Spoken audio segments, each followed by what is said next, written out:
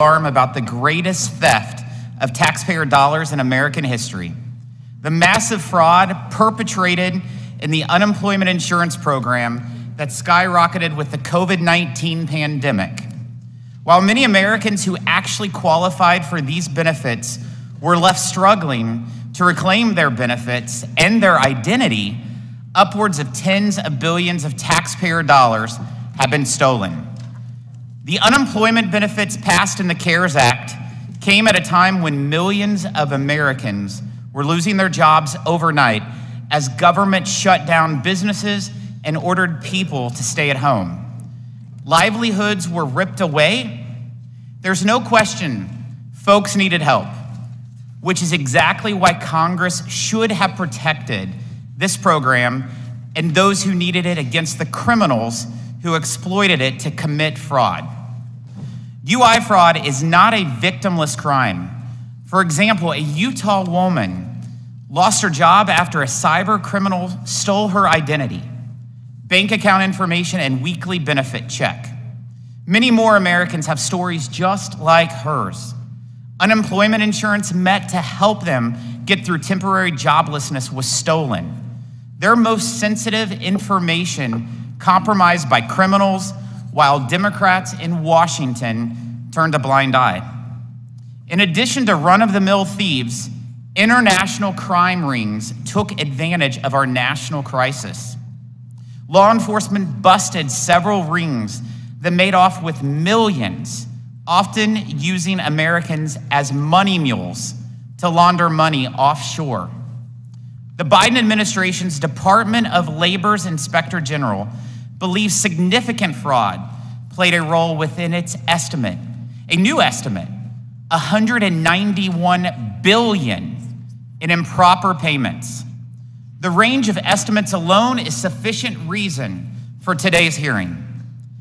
ID.me, an identity verification company hired by many states, estimated at an astounding 400 billion, 400 billion in fraud. That suggests thieves may have stolen almost half of the 878 billion taxpayers spent on unemployment insurance.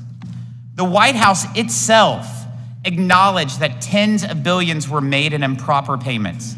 They estimate 104 billion lost. More recently, the Government Accountability Office released its own report, making an early estimate that at least 60 billion dollars went to criminals. In just one example of fraud, one example of fraud, one individual was able to file an unemployment claim in 29 different states and received over $500,000 in fraudulent benefits. With these varying estimates, it's clear that the Biden administration and Congress are in the dark about the size and scope of the greatest theft of taxpayer dollars in American history. The new Republican majority is turning on the lights. We tried when we were in the minority. As early as 2020, Republicans raised the alarm about fraud based on red flags from the Department of Labor's Inspector General and the Secret Service. As the evidence of fraud escalated, I'm sorry to say that Democrats continued to turn a blind eye. They ignored two requests from House Republicans on this committee to hold an oversight hearing just like the one today. Democrats blocked a congressional resolution to get answers about what the Department of Labor knew about funds going to international crime rings. Democrats even voted to end the identity verification requirements and phase, phase outs of emergency UI programs they had previously supported in December of 2020. Republicans proposed amendments to protect taxpayers and those who needed to get unemployment benefits. Democrats rejected them outright. Instead, they unilaterally extended unemployment benefits in their so called bailout bill. They did this even as most businesses had already reopened at a time when the Congressional Budget Office projected the economy to return to pre pandemic levels of growth by the middle of 2021 and unemployment to steadily decline without any further stimulus spending. The Biden administration has been asleep at the wheel. In his, in his last State of the Union, the president bragged about appointing a chief pandemic prosecutor 14 months into his administration. That position has sat vacant for months. The Biden administration then changed the rules to make it easier for states to sweep potential cases of fraud under the rug. Those with their identity stolen weren't the only victims. Democrats' unrestrained COVID unemployment insurance programs fueled a labor shortage that punished American families and small businesses and denied individuals the paycheck and dignity that came from a job. Just two days ago, small business owners in West Virginia shared with this committee their struggle to find workers because Congress made a government check more valuable than a job. One of our highest responsibilities as legislators is to be good stewards of the American people's hard earned tax dollars. This hearing is so important and sadly long overdue. I look forward to hearing from our witnesses today on exactly what the Biden administration is doing and what Congress should have done and must do to go after criminals and make right this multi billion dollar wrong. I'm pleased to recognize the gentleman from Massachusetts, Mr. Neal, for his opening statement. Thank you, Mr. Chairman. I want to say a word of thanks to our witnesses today. So, as Joe Friday might have said in a different age, just the facts, because that's what we intend to focus on this morning. On March 11th of 2020, Dr. Fauci gave his warning as to what was coming. Within three months, 20 million Americans had lost their jobs. That's the reality. Today, not only have all those jobs been returned, but just as importantly, there are still 11 million jobs that go unanswered every day in America. Just the facts. I know I helped write this legislation, and I didn't write it with just Speaker Pelosi. I wrote it with Secretary Mnuchin in the room over eight days. Much of this legislation was written by the previous administration, so just the facts. $849 billion of unemployment insurance. Of that number, it's estimated that 7.1% was fraudulently spent. We do not, on the Democratic side, defend fraud. We want the Justice Department, we want our witnesses today to pursue aggressively any of that criminal element that did what they did. But let us not conflate the need for unemployment insurance with what happened during the course of the pandemic. 12 million jobs have been created under President Biden, 517,000 last month, and the unemployment rate in America is now 3.4%. So the Paycheck Protection Program worked. The unemployment insurance program worked. The relief that we gave to hospitals where people were in the hallways on ventilators, it worked. So when I asked Secretary Paulson, a Republican who couldn't have been any more cooperative in helping us to devise the program, or when we asked Secretary Mnuchin, or when we asked Secretary Rubin, Secretary Yellen, and Secretary Lew as to how to proceed, they gave us the advice to get cash into the hands of the people at the bottom of the economic scale who really need it. So, what did we do? We devised an initiative to make sure that the community bankers were in the middle of it because they had good credit histories with the people that needed the money. How about the idea of what we were able to do with the credit unions and CDFIs? What we did overwhelmingly worked. And to pick on people today, of the 20 million who lost their jobs and to suggest that they stayed home during the pandemic, the number of women who have not come back to the workforce because they couldn't find childcare, those are the issues that the committee should be focused on this morning. Nobody condones fraud. We want those to be pursued who participated in the criminality that relates to fraud. But the idea that there's a massive number of people staying home because they can collect unemployment insurance, tell that to the members of the AFL CIO and the trade unions that had to stop construction jobs during the course. But tell that to the hospital workers who came to work exhausted every single day to make sure that we got past the pandemic. If the reporters who cover the early stages of the pandemic, when they pointed out the issues, They said early on, oh, China's doing a great job. I don't think anybody who looked back in the last six months would say that China did a better job than the United States.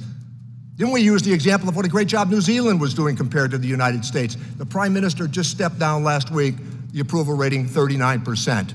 We restored the jobs that were necessary in America. It should be a banner of success that we're celebrating this morning, Republican and Democrat. And just another key phrase here to point out much of the unemployment insurance was passed out during the Trump administration. That's a fact.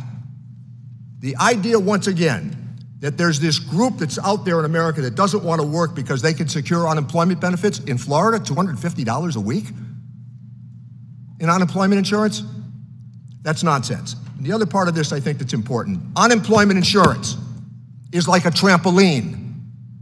You hit it on the downside and you bounce back up into the mainstream of the American economy, and that's precisely what's happened. So, from our witnesses today, we hope that they will outline precisely what it is they are doing to secure charges of criminality, but understand in terms of proportionality what really happened here. Overwhelmingly, the American economy rebounded because of what we did, and much of it, by the way, came in this committee, and most of it unanimously. It was passed through the doors of this, this room. So I'm proud of what we did, and I hope the focus today is going to be on the role that unemployment insurance made in making sure that people could keep the lights on, turn the heat on, and make it to the grocery store to buy the sustenance of what they needed every single day. As I started, and we will conclude, just the facts this morning. Thank, you. Thank you, Ranking Member. I will now introduce our witnesses. Uh, thank you all so much for taking your time out of your busy schedules for being here. Um, Gene Dodaro is the Comptroller General of the United States. Larry Turner is the Inspector General of the Department of Labor. And Mr. Michael Horowitz is Chair of the Pandemic Response Accountability Committee and the Inspector General of the Department of Justice. Mr. Dodaro, you are recognized for your opening statement. Thank you very much, Mr. Chairman, Ranking Member Neal, members of the committee. I'm very pleased to be here today to talk about the uninsurance, uh, unemployment insurance program during the pandemic. Uh, the program helped millions of Americans in need, but there was widespread fraud that occurred. And I'd like to focus my opening remarks today on three reasons why I believe that happened. Number one, neither the Labor Department nor the states were prepared in 2016, we worked with, this, with the Congress to pass the Fraud Reduction and Data Analytics Act.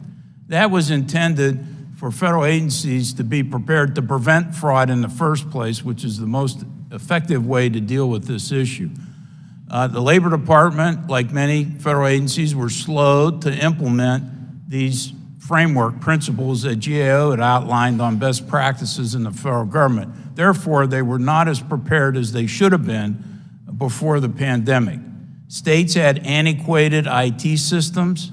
Many of them had known this, some of them dating back decades. And also, right before the pandemic, the unemployment rate was very low. So the staffing levels of the state employment agencies were low. So they weren't as prepared either. We've made recommendations to the Labor Department. Uh, they haven't implemented those fully yet. They're beginning to work on them. Uh, but they need to fully implement our recommendations and be in accordance with the law. Secondly, uh, the urgent need to get the money out led to trade offs that limited the ability of the government and the states to achieve the accountability and transparency objectives of the legislation Congress intended. This was due to allowing people to self certify their result, their uh, eligibility for programs, eliminate or reduce the need for them to provide supporting documentation for their claims of eligibility, reducing the waiting time that was normally in place at the states before they provided the first unemployment check. Now, Congress rectified these issues in December 2020 when they passed the Consolidated Appropriations Act and then required uh, more documentation for eligibility determinations. The states started taking corrective measures, but this was too late. Hundred, hundreds of billions of dollars had already been spent. Uh, and while they're welcome and they need to be fully implemented, uh, and congressional oversight is needed to make sure this happens, uh, they were not taken as, as early as possible in the, into this, um, uh, reduce the uh, susceptibility to fraud. You know, as a result of these trade-offs, self-certification in particular, uh, these programs were more susceptible to fraud than they would have been otherwise uh, during the program. Lastly, third, I would, there was an improper payment problem before the pandemic occurred in the unemployment insurance program. Uh, the rates often were in double digits in terms of uh, improper payments. These are payments that should not have been made or were made in the wrong amounts. Uh, and there was also fraud in the unemployment insurance program ahead of time as well. Both of these should have been harbingers to alert the Labor Department and the states that they needed to take stronger measures, particularly with the huge amount of claims that occurred during a period of time. Uh, as Ranking Member Neal mentioned, you know, millions of people became unemployed at the same time. This rarely has happened in our economy where so many people have applied for insurance and been out of jobs in, in the, almost every sector of the economy during this period of time. So more measures should have been taken. Now, I've, we've made recommendations uh, in many cases to have uh, this un underlying improper payment problem. And it doesn't happen just in the unemployment insurance program. It happens in Medicare, Medicaid, and 86 different programs across the federal government's activities. But it was there, it should have been dealt with. And if we can't deal at the federal government and the states level to reduce improper payments in normal times, then you're bound to have problems when there are emergencies. And there will be future emergencies. And so people need to get prepared. So I'd urge this committee to continue their oversight, to make sure the labor departments and the states take action uh, on our recommendations so that we're much better prepared next time to deal with these emergency situations. So thank you very much, Mr. Chairman, members of the committee. I'd be happy to answer questions at the appropriate time. Thank you, sir. Thank you, sir. Mr. Turner, you're now recognized. Oh, thank you. Good morning, Chairman Smith, Ranking Member Neal, and distinguished members of the committee. Thank you for the opportunity to testify today. Although the OIG oversees all DOL programs, my testimony today focuses on our oversight of the unemployment insurance program. The views expressed in my testimony are based on the independent work of the OIG and are not intended to reflect DOL's position. Mr. Chairman, the OIG remains committed to assisting DOL and Congress in improving the efficiency and integrity of the UI program. In our view, strengthening the program to prevent and detect fraud are key objectives to ensuring that unemployed workers quickly receive needed benefits while safeguarding taxpayer dollars. For many years, the OIG has highlighted significant concerns with DOL and states' ability to deploy UI benefits expeditiously and efficiently while ensuring integrity and adequate oversight. The pandemic compounded these challenges, creating the perfect storm. As the OIG reported, states were not prepared to process the historic volume of claims, resulting in significant delays. Initial reliance on claimant self-certification rendered the PUA program extremely susceptible to fraud, and the unprecedented infusion of federal funds gave fraudsters a high-value target to exploit. That combined with ease of identity theft and system weaknesses previously identified by the OIG allow criminals to defraud the program. DOL recently reported an annual improper payment rate of 21.52% for FY22.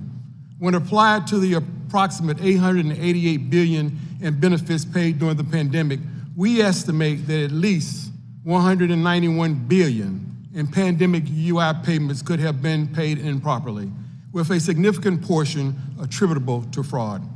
Indeed, following the passage of the CARES Act, fraud against the UI program exploded. Since April 1, 2020, the OIG opened more than 198,000 UI investigative matters. This represents 1,000 times the increase in the volume of our UI work.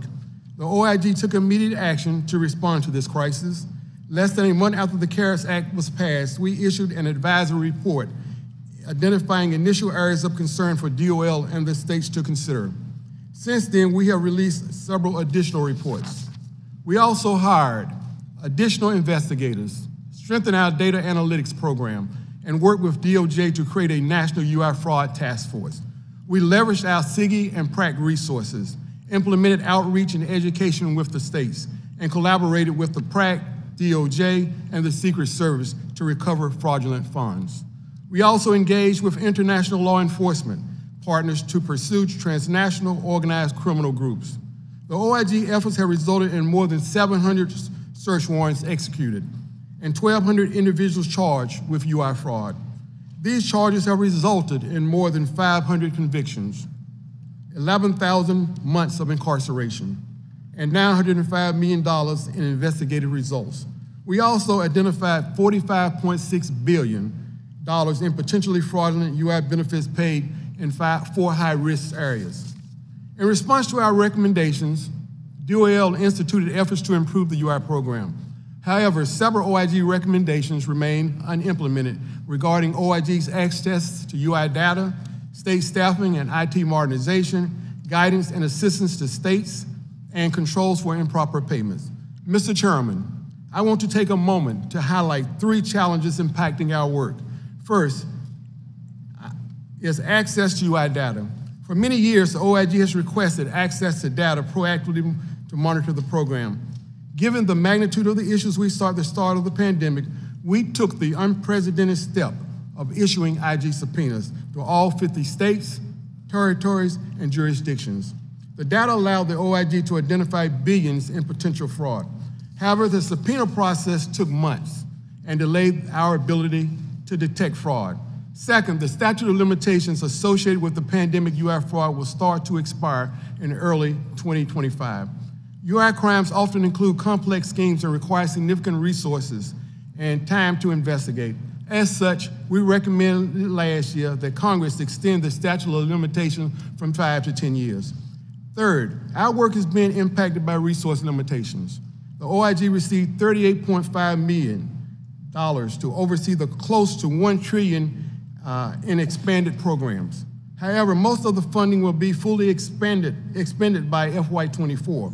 Combined with lower than expected FY23 appropriations, our funding is not sufficient to maintain the level of oversight deployed during the pandemic. Mr. Chairman, thank you for your opportunity to, to testify about our over, overseeing the UI program. I also want to thank the dedicated OIG employees who worked tirelessly to accomplish the oversight mission. I look forward to answering any questions you or members of the committee may have. Thank you. Thank you, sir. Mr. Horowitz, you are now recognized. Thank you, Chairman Smith, Ranking Member Neal, uh, members of the committee. Thank you for inviting me to testify today. The PRAC was created by Congress to provide independent oversight of the approximately $5 trillion in pandemic relief spending and to help coordinate and support Inspector General oversight. Working with our local, state, and, inspect, and federal oversight partners, including the Comptroller General and IG Turner, we're helping to reduce fraud in pandemic programs and hold accountable those who have stolen from them. We're also advancing transparency through our website, pandemicoversight.gov, by allowing the public to use interactive tools to see how their money is being spent. Indeed, on pandemicoversight.gov, the public can find a spotlight section detailing the over $800 billion on, spent on pandemic unemployment insurance programs and includes an interactive map on state reporting of their program integrity.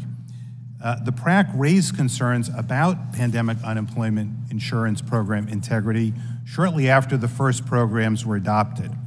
In June 2020, we convened stakeholders in a virtual listening forum to hear from state workforce and unemployment agency leaders about the massive increase in UI claims, resulting in a strain on their systems and the need for greater federal state cooperation on data sharing. We've worked closely with our state and local counterparts on these issues, including providing them with regular briefings and fraud alerts. In December 2021, we issued a capstone report that can be found on our website that shares four common challenges that states faced in, man, in managing the pandemic unemployment insurance programs. First, programs face severe staffing shortages as claims surged. Between March 14 and April 18, 2020, weekly unemployment claims increased from about 225,000 to 5.3 million when the unemployment rate reached 15%, the highest recorded rate since 1948. Second, the claims surge exposed existing internal control weaknesses.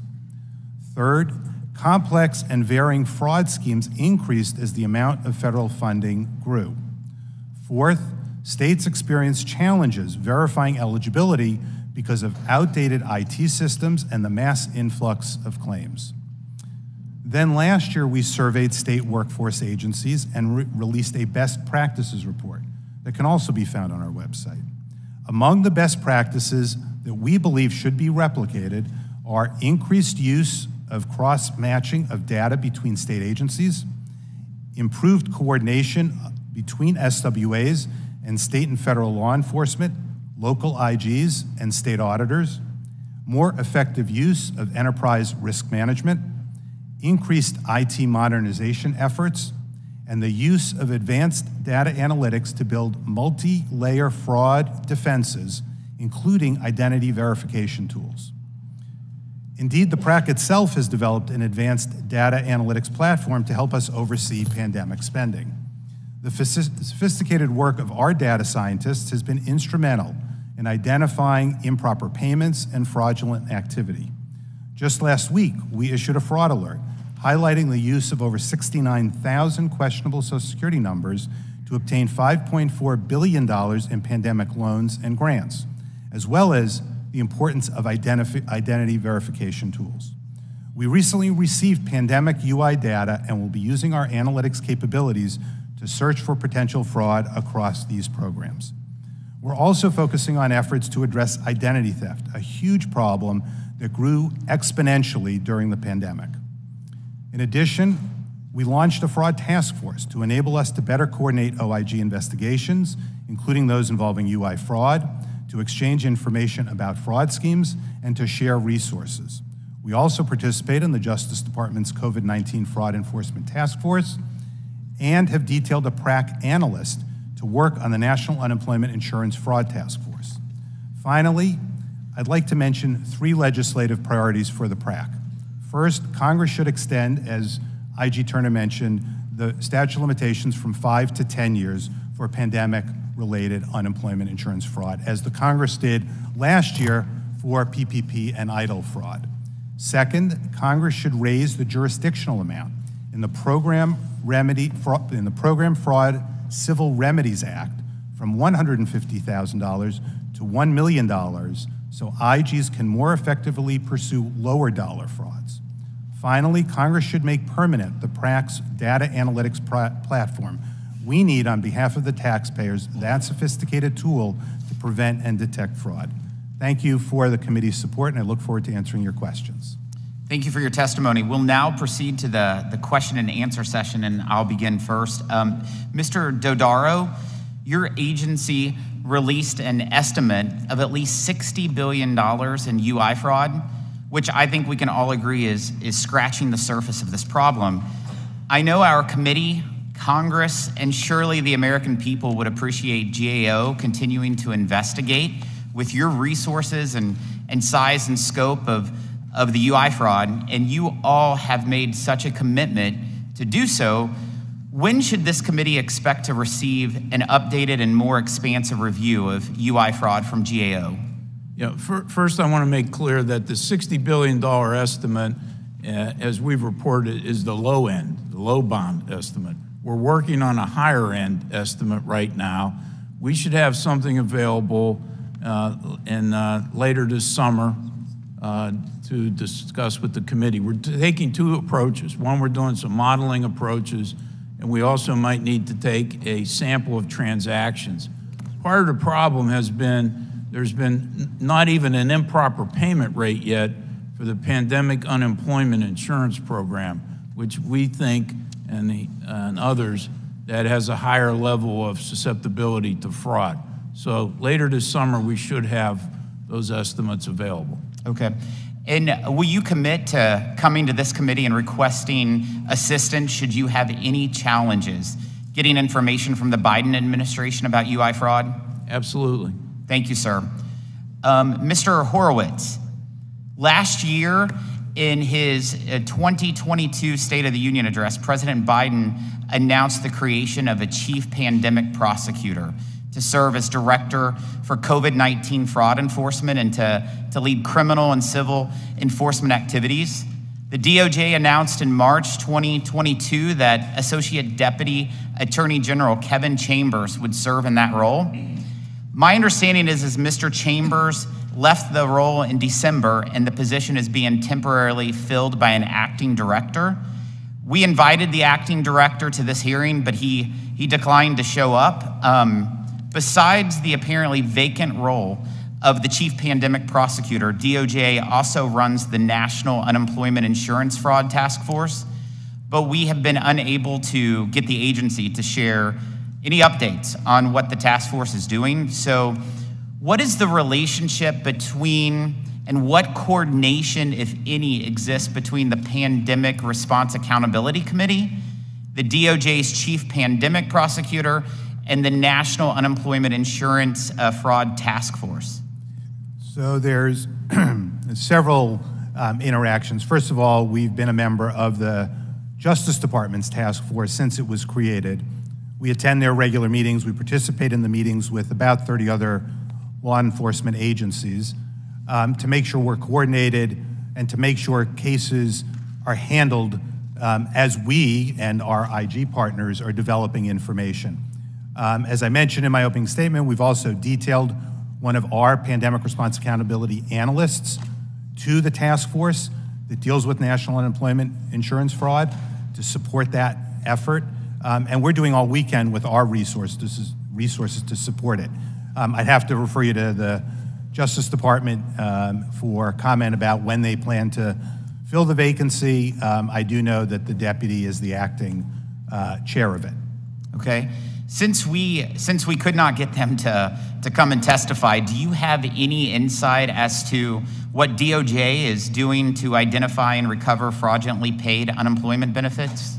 Um, I, I, do know from our work with them and my work as Justice Department Inspector General, as we refer cases to the prosecutors around the country, that they are moving forward with them. I think one of the challenges the department is having and prosecutors are having, frankly, is triaging them.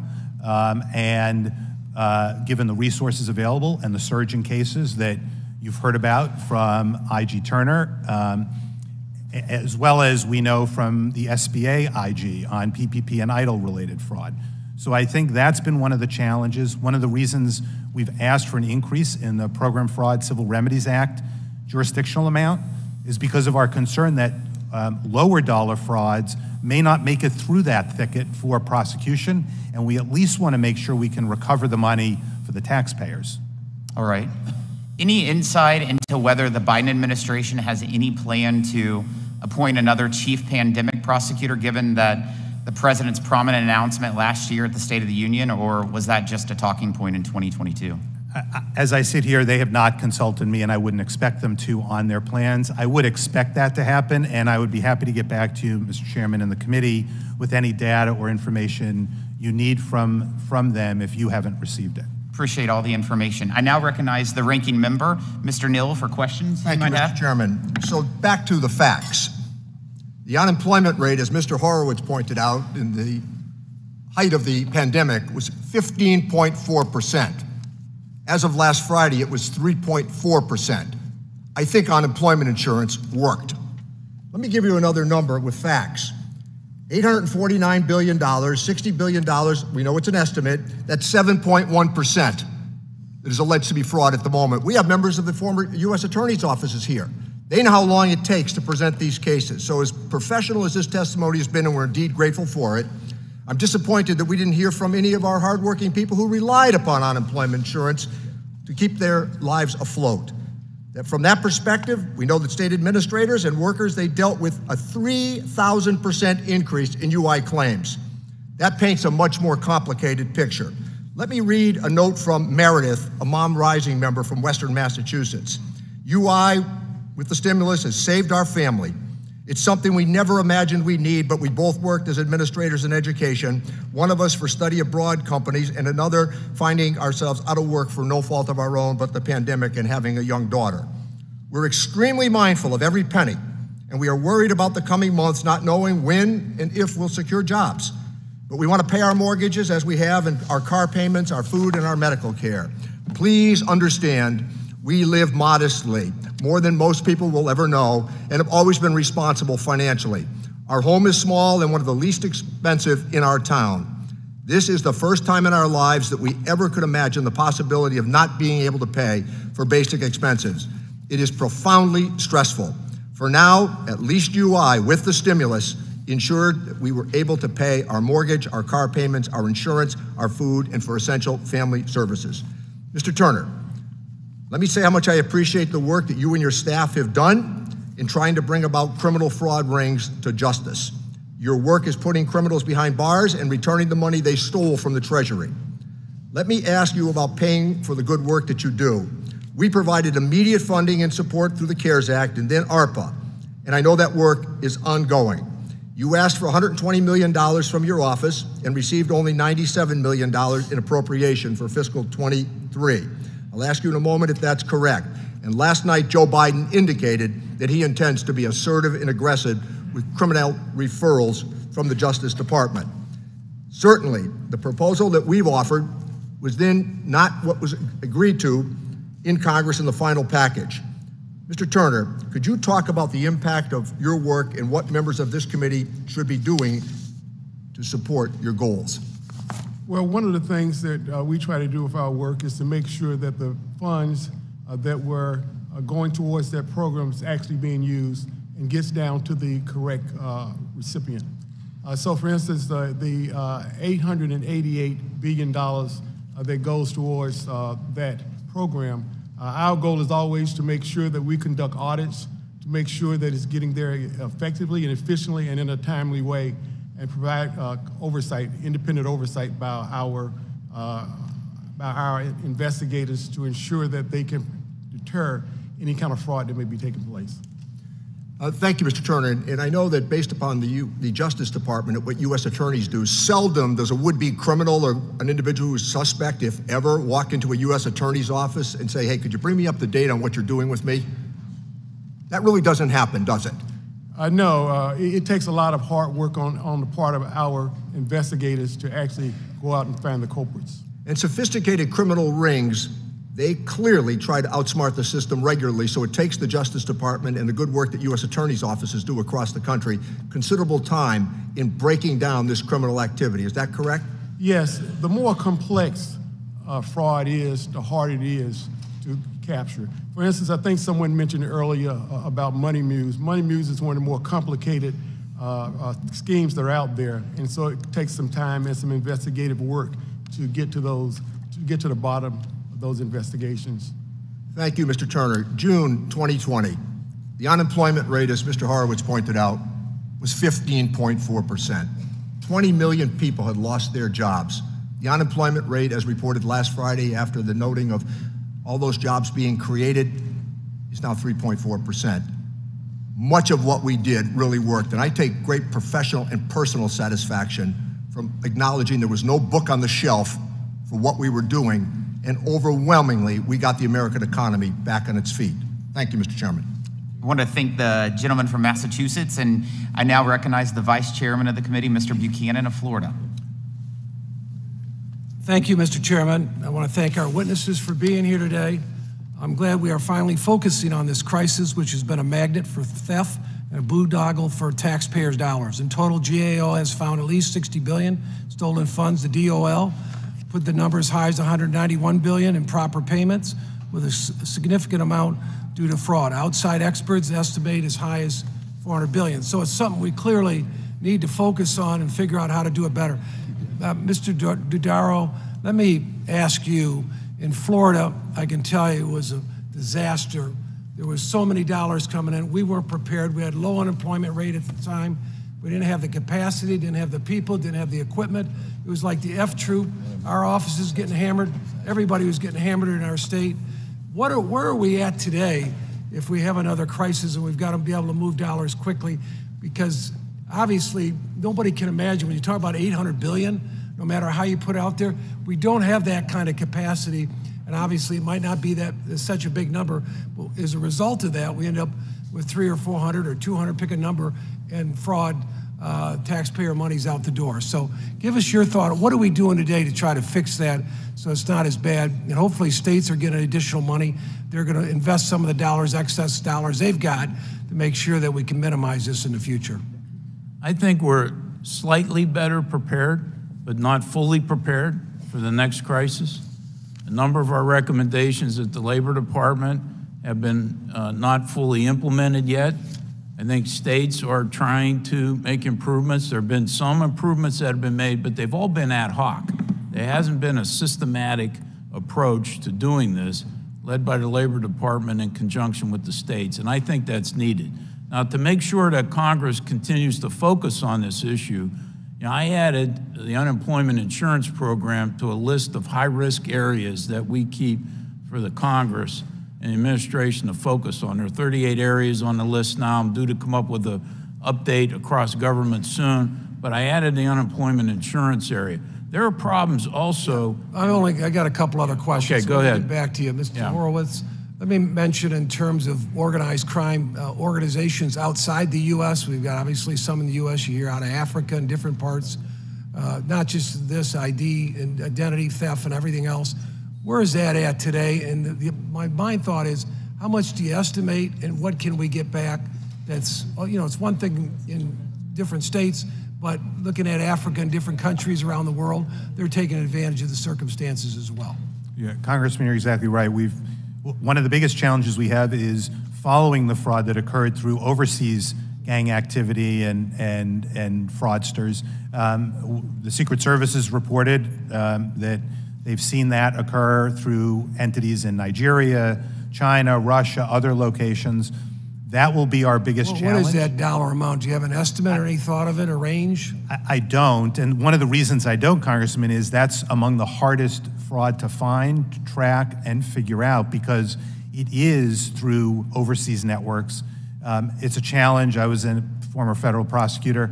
Um, the, the process by which getting that evidence is I've very got one more question for Mr. Turner. Mr. Turner, let me ask you, they claim 70% of businesses, if they could find workers, uh, they could do more business. That's the mindset, at least in Florida. I think I've heard that around the country. They can't get workers.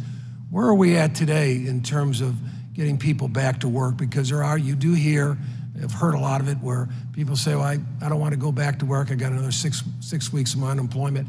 But what's your sense of where we're at today on that? Uh, we have done some work in that area, and part of what we found out is that there have been instances of where people have not gone back to work. And we've uh, asked the department, which has put out a policy, to address that and have that information reported to the states when it occurs.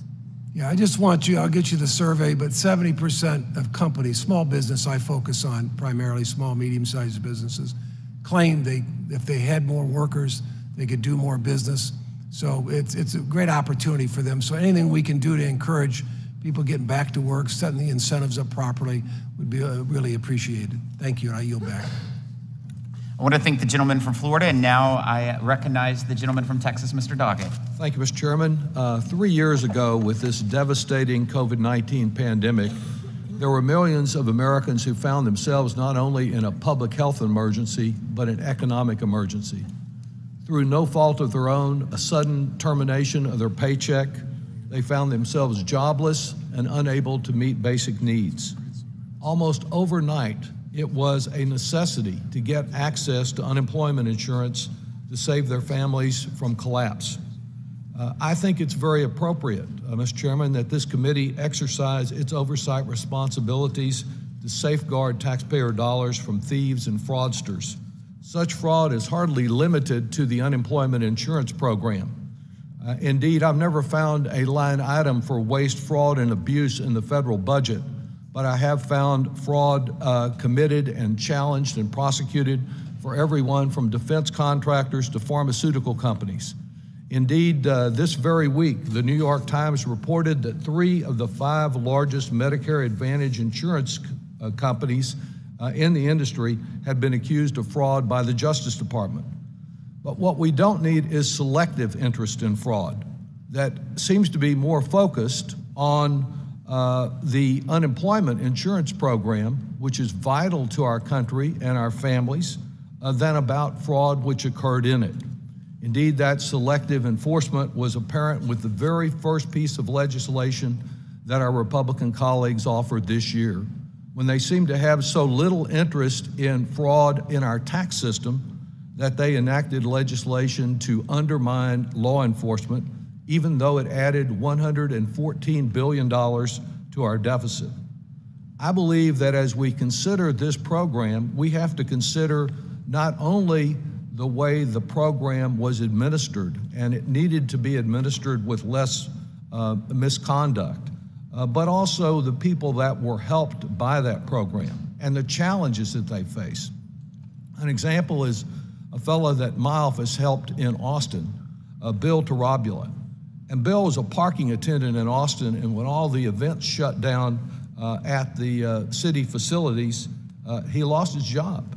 Uh, he contacted my office in March of 2020, and it wasn't until August of 2020 that we were finally able to get him the assistance that he needed. The administration of the program, and there's been focus on what the Department of Labor might have done better uh, under the Trump administration and the Biden administration, but the administration of the program in Texas was a disaster. Uh, the program was understaffed. When it was apparent that the program was not up to the task, it failed to add staff.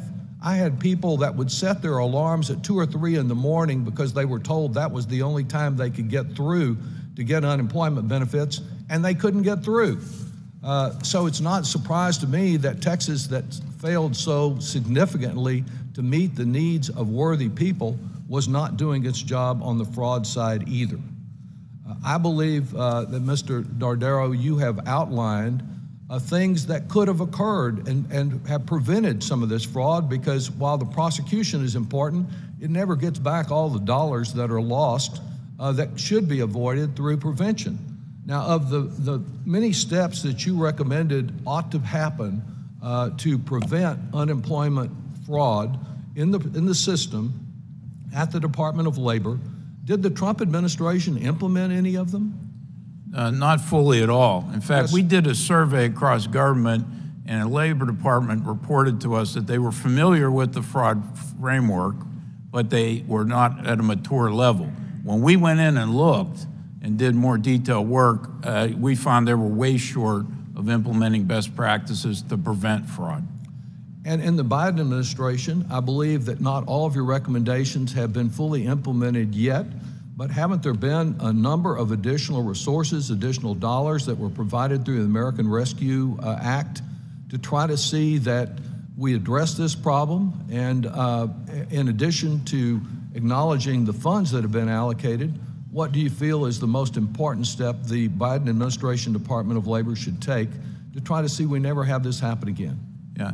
Labor Department's put some guidance out, some tools that have been available. They've established an identity verification approach and provided some grants to states, but they haven't, all those have been ad hoc. There hasn't been a systematic approach. What we call for is designating a fraud entity full-time to focus on this, do fraud risk profiles, develop an anti-fraud strategy, uh, and then to evaluate how well it's working and then continuously make improvements. The nature of fraud changes dramatically, and you need to stay abreast of what's going on. And we need to prevent this. As you point out, you, this is a cultural shift that we've been trying to advocate across government. Because it, when people think of fraud in the past, they think of the inspector generals or GAO or others to catch the crooks. But you don't catch everybody, and you don't certainly recover all the money. The only way to effectively deal with this is to prevent it up front. And when you have more technology available now to do cross matches, to use different tools that are available, you should be able to get the money out quickly, but also safeguard the federal fisc. Thank you very much. I want to thank the gentleman from Texas, and now I recognize the gentleman from Nebraska, Mr. Smith. Thank you, Mr. Chairman. Thank you to our witnesses. Uh, this is a very timely conversation uh, that uh, I, uh, I will say should have happened some time ago, but did not. But in February 2022, the Biden administration issued guidance allowing states to forego due diligence and fact finding for large volumes of suspicious unemployment claims, potentially involving billions of fraudulently obtained taxpayer dollars. The guidance provides multiple loopholes for how states may apply blanket waivers of recovery of overpayments. For example, a state may accept without challenge that an individual who responded no to being unemployed, partially unemployed, or unable or unavailable to work is entitled to a waiver of recovery of overpayments with no determination as to whether the individual was truthful in their response. This potentially allows those perpetrating fraud within the UI system to continue and leaves hundreds of thousands of unresolved claims involving stolen identities belonging to identity theft victims, including first responders, government personnel, and school employees. Mr. Chairman, I'd like to submit for the record a letter that Ways and Means Republicans sent to the Department of Labor on February 18, uh, February 18, 2022, nearly a year ago, requesting an immediate stay of the effective date of this guidance and an explanation of how the department would ensure the guidance would not undermine existing investigations. Without objection, so ordered. Thank you. In their response to our letter, DOL said that the guidance was developed in response to requests from states which were, quote, seeking greater efficiencies in the use of limited government resources. States noted that it was taking a significant amount of time and resources to process waivers on a case by case basis for overpayments, end quote. DOL also responded that the guidance specifically instructed states that they may not waive overpayments due to fraud. This response was far from reassuring. In fact, DOL's response increased my concern regarding this waiver policy, which is still in place today, because it suggests that states were dealing with a backlog of suspicious claims, and DOL provided an easy opportunity for them to forego the investigation and fact finding needed to know whether they were fraudulent in the first place. It further eliminated any incentive for states to track down fraud. This action is particularly reckless in light of White House estimates the federal and state UI program had a 22.2% improper payment rate for FY 2022. Mr. Turner, my question is for you. Uh, one of the questions we asked in our letter was whether DOL consulted with your office before issuing this guidance. Given the OIG's work uh, ensuring uh, recovery of taxpayer dollars, I would like to understand how your work will continue now that this guidance is in place, and in particular, any impact on your ability to initiate and conduct investigation and prosecution of fraudulent activity in pandemic unemployment programs. My understanding is that this is part of uh, your revised pandemic oversight plan. Uh, thanks, Representative.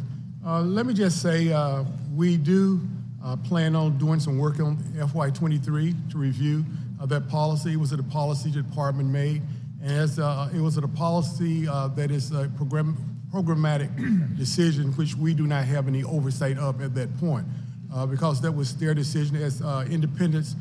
we have oversight at the end of the day, but they did consult. They did not consult with us. They made us aware that this what they were doing with the policy, and so because we could not advise them, we did make it a point to take a look at that because we do believe that there's a possibility that fraud could take place. Uh, although they did tell us that they were going to put a waiver out, uh, and we expect to take a look uh, again before the year is out. Okay, thank you. And how many of these waivers have been issued, and is DOL collecting the data at all, or is it just not ending up where it needs to go? Uh, at this point, we do not know how many waivers have been issued uh, as far as across the country. But that's why it, that work is so important as we take a closer look at it. And so, the, I mean, there, there's no way to know up until this point? Well, uh, we were asked to take a look at, I think, last FY, and we uh, decided to put that on our uh, audit plan this year. So uh, in the spring, we are going to take a look and find out just the extent of the problem. Okay, uh, thank you.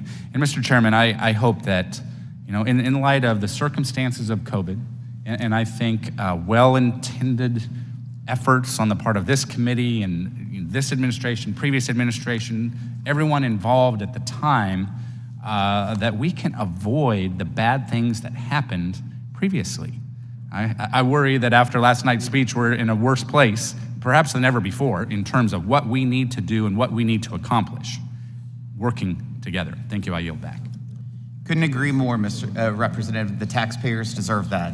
Pleased to recognize the gentleman from California, Mr. Thompson. Thank you, Mr. Chairman, and I want to thank the witnesses for being here today and for the great work that you do in your public service. As was stated, started in March of 2020, the spread of COVID-19 crippled the global economy. We lost 22 million jobs in this country, uh, 2.7 million of those from my home state of California. 22 million lives disrupted, 22 million individuals wondering how they're going to pay their bills or put food on the table, as Mr. Neal's constituent uh, letter gave uh, credence to. In response, Congress acted in an unprecedented bipartisan manner to quickly deliver desperately needed relief to families, workers, and businesses across all of our communities. This included a temporary payment increase for unemployment benefits and emergency relief for small businesses, such as restaurants. It's estimated that these measures kept more than 5 million people out of poverty in 2020 and 6 million more in 2021. Because of what we did, our constituents were able to pay their rent, purchase groceries, and keep the lights on. And these dollars were spent locally multiplying across the community, keeping businesses open. This support provided vital, um, uh, support proved vital to our communities and foundational to our economic recovery. Because of our efforts, by July 2022, all jobs lost during the pandemic had been recovered. And just last Friday, the Bureau of Labor Statistics reported that the unemployment rate is 3.4%, the lowest since 1969. Sadly, my Republican colleagues are using today's hearing to smear critical benefit uh, to American workers rather than propose any sort of agenda or idea on their own to address these issues.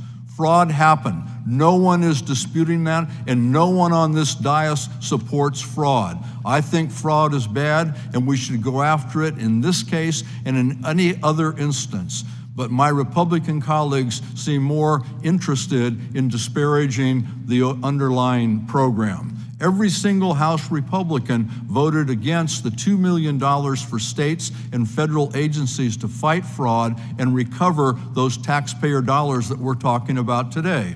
These are the very tools that enabled our witnesses today to do their good work. They're uh, to crack down on this fraud. It's important. Unfortunately, this sounds less about Republicans preventing fraud and more about them, as I said, disparaging a program that kept millions of families afloat and provided a powerful stimulus to our economic recovery. Mr. Dodaro, during the pandemic, unemployment insurance gave 8,665,000 Californians, including thousands of my constituents, a critical lifeline by keeping them out of poverty until it was safe to return to the workforce. Uh, what do the dozens of high quality research studies GAO reviewed say about the effect that private, providing UI benefits during the pandemic had on our economic stability? Yeah, we, we looked at uh, 30 empirical studies that have been done and found that, that it was very helpful. The conclusion of the studies was it was very helpful for supporting the economy, keeping prob the problem from getting worse, uh, and actually providing a lot of assistance to individual people to, as has been mentioned, pay rent, health care, et cetera.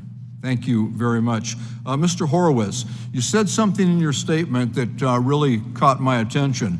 You said it's your desire, your mission, your agency's efforts to hold accountable these people that defrauded our government and took this money. Um, I've yet to see many programs where private or public sector where fraud isn't um, in existence. And we, we see you can walk across the parking lot out here uh, in the Capitol and see where the bricks that they put in when they remodeled don't match and are all chipped. I was at the border in El Paso last week and I saw where the contractor who built the wall didn't put cement in the iron uh, uh, uh, pilings and they're able to cut right through them. Uh, are you going to be able to hold these uh, fraudsters accountable and get back a lot of this money? Um, Congressman, uh, you're right. Uh, when you have programs, no matter what the program is, you're going to find fraud. There were several things it, with the various pandemic programs that exacerbated, like self certification, and as we've talked about, lack of preparedness given what occurred, when it occurred, and how it occurred. Having said that, um, we're using every tool Congress has given us, and you've given us a number of important tools to go after fraud. We're going to use criminal tools, we're going to use civil tools, administrative tools, suspension and debarment. We're going to use all of those. Um, very important, though, that some of those be enhanced, as I mentioned, with the extension of the statute of I under- limitations. I understand. Thank you for the work, thank you for your answer, and good luck. Thank you. I want to thank the gentleman and uh, pleased to recognize the gentleman from Pennsylvania, Mr. Kelly. Thank you, Mr. Chairman. Thank you all for being here today. Excuse me. Uh, You know, so this hearing is supposed to be about fraud. Uh, We can't do anything unless we get away from policy and talk about politics, because we always got to play this game about who struck John. In the meantime, Hardworking American taxpayers are the ones that put all this money into this system that was stolen from them. Can any, any one of you, Mr. Mr. Dodaro from Monessen, Pennsylvania, the home of the Greyhounds, uh, can any of you tell me what the amount of the fraud is? We have estimated in the unemployment insurance area at the low end of the bond, $60 billion. We're working on a higher degree estimate. We're also trying to, and this has never been done before, do an estimate as to the total amount of fraud across the entire federal government. And we're working on that. Maybe later this year, we'll have an estimate if we can have com- comfort in it. So just ballpark, you're saying 60, It's 60 billion at a minimum in, just in the unemployment insurance area. so is you know, a billion here, a billion there, pretty soon it gets really heavy. Uh, Mr. Turner, any, just give me an idea what the, the amount of fraud is. Uh, we've uh, estimated it to be about 76 billion, and that's based on the latest data that we received from the department. Okay, Uh, the department had a uh, 8.5 as the fraud rate that they just released, uh, based on 888 billion dollars for the program. So uh, we believe at the low end it's 76 billion. 76 billion. Yes. That's with a B, okay? Mr. Horowitz? Uh, Congressman, what I've said before is with all of the investigations we have ongoing, as well as the overseas work we still have to do, it's way too early for us to give an estimate. I, what I've said is, I'm, it's in the tens of billions of dollars. You've heard these numbers. Yeah, It won't surprise me if it exceeds $100 billion. Hmm. And as we go along over the next several years, we'll get a better sense of exactly the scope of the fraud. Okay. Well, the real intention, I think, of the meeting today, which our chairman pointed out, is we wait too long to look into what's happening with hardworking American taxpayers' money. Every bit, of- every, all this fraud lands on the same shoulders that it always lands on, and that's our taxpayers. And I get so fed up to come into meetings where all we do is point fingers about who struck John and never come up with the answer to what the hell are we doing to fix this? Nobody in the private sector would run a business this way. And I am constantly baffled by the people who own this, why they are not outraged. I'm not blaming any of you for what you're doing. I think you get in here every day, Mr. Dodaro. I still wonder why are you spending so much of your life doing all this? You're dedicated to it, and I know I get that. But when we have these hearings, the hell? We're talking about we're up to our neck in alligators, and we're trying to find out who was supposed to drain the swamp. In the meantime, this is being funded by people who get up every day, some working two jobs, and their wife helping out working another job to put food on the table and a roof over their head. We have so many huge problems with this business model, and we know that nobody in the private sector could possibly run a business like this because they can't borrow endlessly or they can't print it if they need it.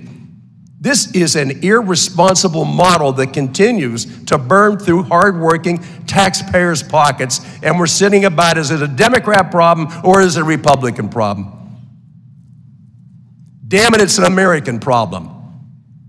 Mr. Dare, you wanted to. Yes, I continue to pursue my public service to be the taxpayer's friend. God love you. At, at GAO, we return $145 to every dollar spent on us over the last five years on average. This is a problem regardless of the administration. In a few months, I'll be have worked at GAO for 50 years. I've seen this problem over a period of time. Thank you. I hope to make it. Yeah, you're going to make it. You're, you're from around the Pittsburgh area. We're But- tough. We're But steel. I, I've, I have, and in my statement today, 10 legislative suggestions Yeah. for Congress. First of all, in any new program or increase in spending over 100 million, 100 million dollars, it ought to be immediately susceptible to improper payments, given the problem we have. Right now, programs can be in operation two or three years and never estimate the amount of improper payments. Th- This is, doesn't make sense, and some of these programs will fully expire before you even know early on. And I've got other legislative solutions, so there are things Congress can do to make this better. You, you know what? First of all, I've run out of time. Thank you for what you've done with your life.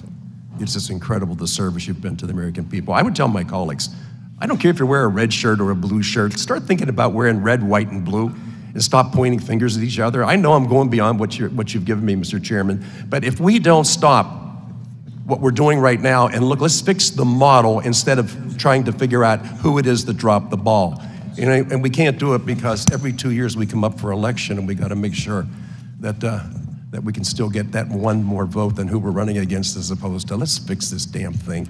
Okay, Mr. Dodaro, thank you. Mr. Turner, thank you. Mr. Horowitz, thank you for coming here and thank you for what you're doing. You guys are incredible. Thank you.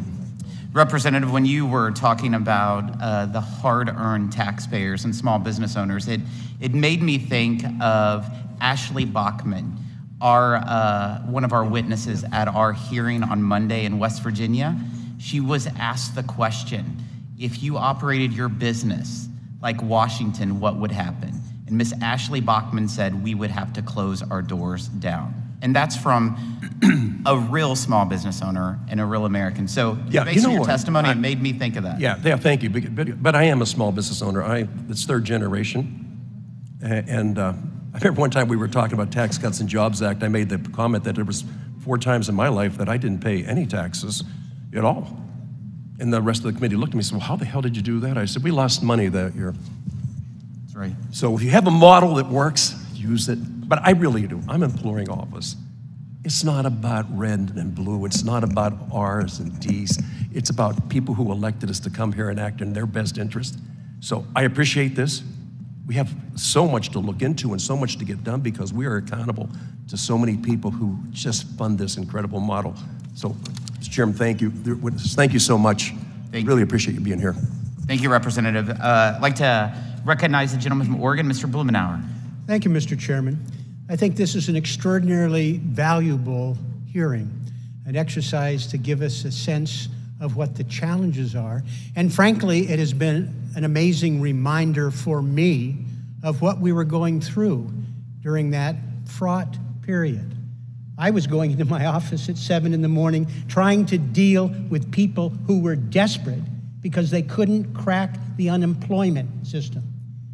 And that, frankly, we, we all hands on deck for that. These people were in danger of losing their business, losing their homes. They were frantic that they couldn't get through. Uh, now, this was a state failure. The federal government gave money. Uh, Texas wasn't the only state. I heard this around the country. You probably had that experience in your office dealing with desperate people. And so this hearing helps us set the context and is a powerful reminder for me of what we were going through. Being overwhelmed by demands, a, two, a 3,000% increase in unemployment insurance claims, that's the reality that we were facing. On balance, I think I am appalled at the amount of fraud that occurred, but given the urgency trying to help desperate people, uh, I understand why we were there. The question is how do we make sure that we're no longer there? Mr. Dodaro, you, you mentioned that you gave recommendations to the previous administration and couldn't find in the midst of this that they were moving forward. I agree with Mr. Kelly. I'm not interested in pointing fingers one way or another, but I do think it is important that we don't lose track of the hard work of oversight, that we claw back every dime that we can, and that we're prepared for the next contingency, because it's coming.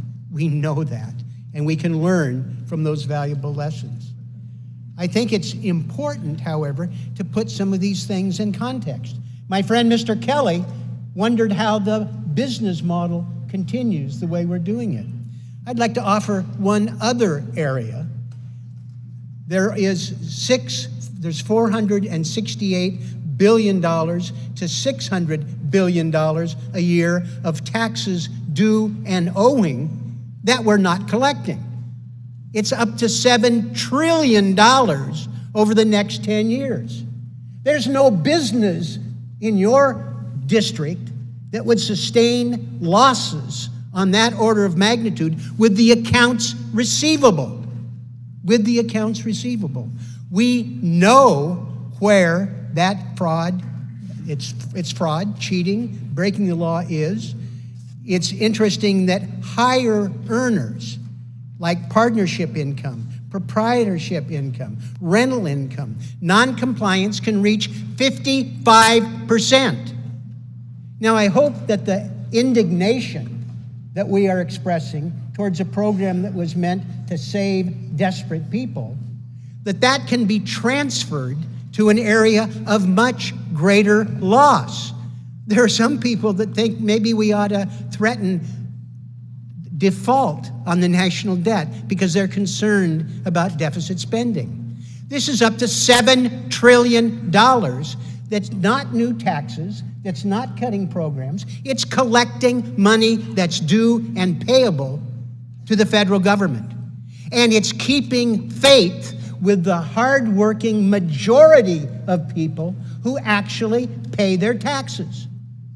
So I hope that we keep this spirit of concern for oversight and economy and zero in on the people who cheated the federal government on unemployment insurance.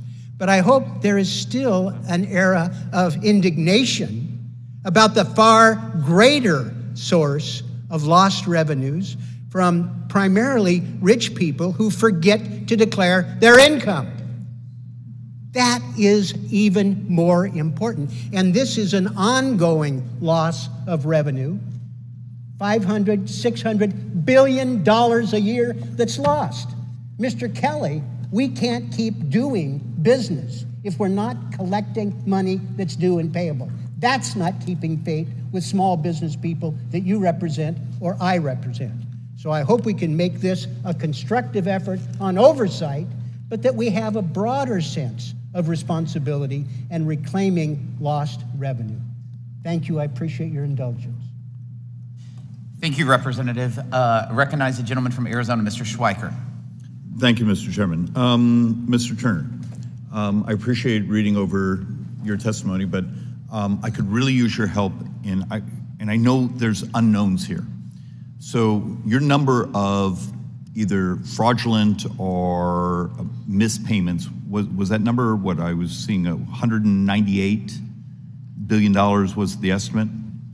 191 okay 191 and if the program is about 800 billion dollars so your, your number is about 20% of all the payments that went out functionally got tagged in, in some fashion of either being a mispayment or being fraudulent that's correct um, first off, how comfortable are you with that 198, or excuse me, 191? I want to make sure I quote you properly.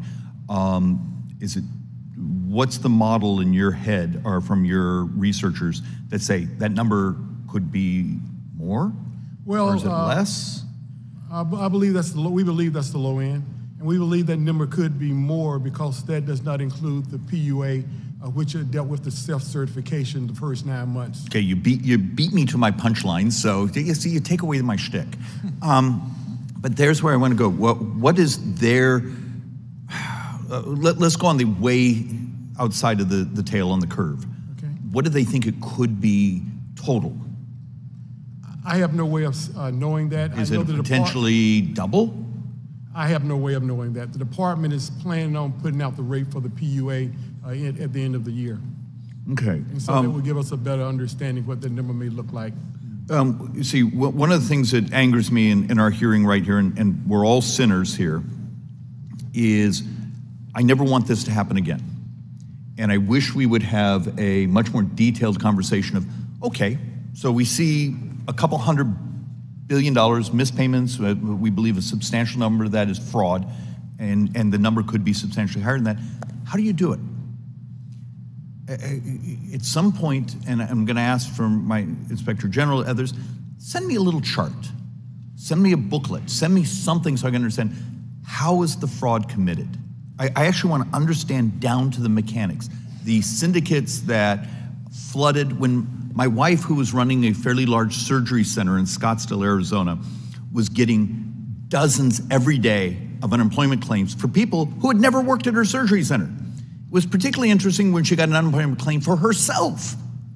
When she's running the surgery center, she brought that home and thought that was actually, um, she wanted me to fix it, and I'm just losing my mind because the numbers of folks we had calling us saying, I'm running a business and I'm getting unemployment claims dramatically more than the number of employees I've ever had.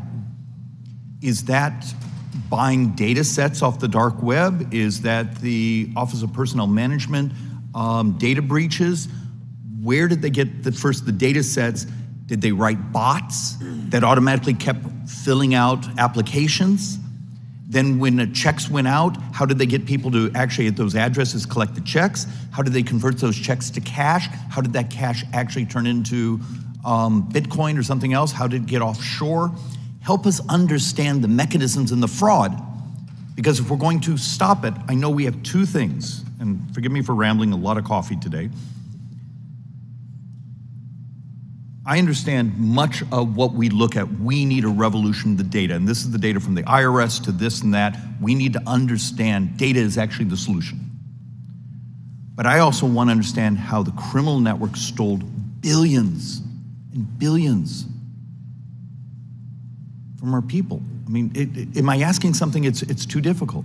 No, you're not. Uh, actually, it was a combination of a lot of things you mentioned, but it all mostly starts with uh, stolen identification.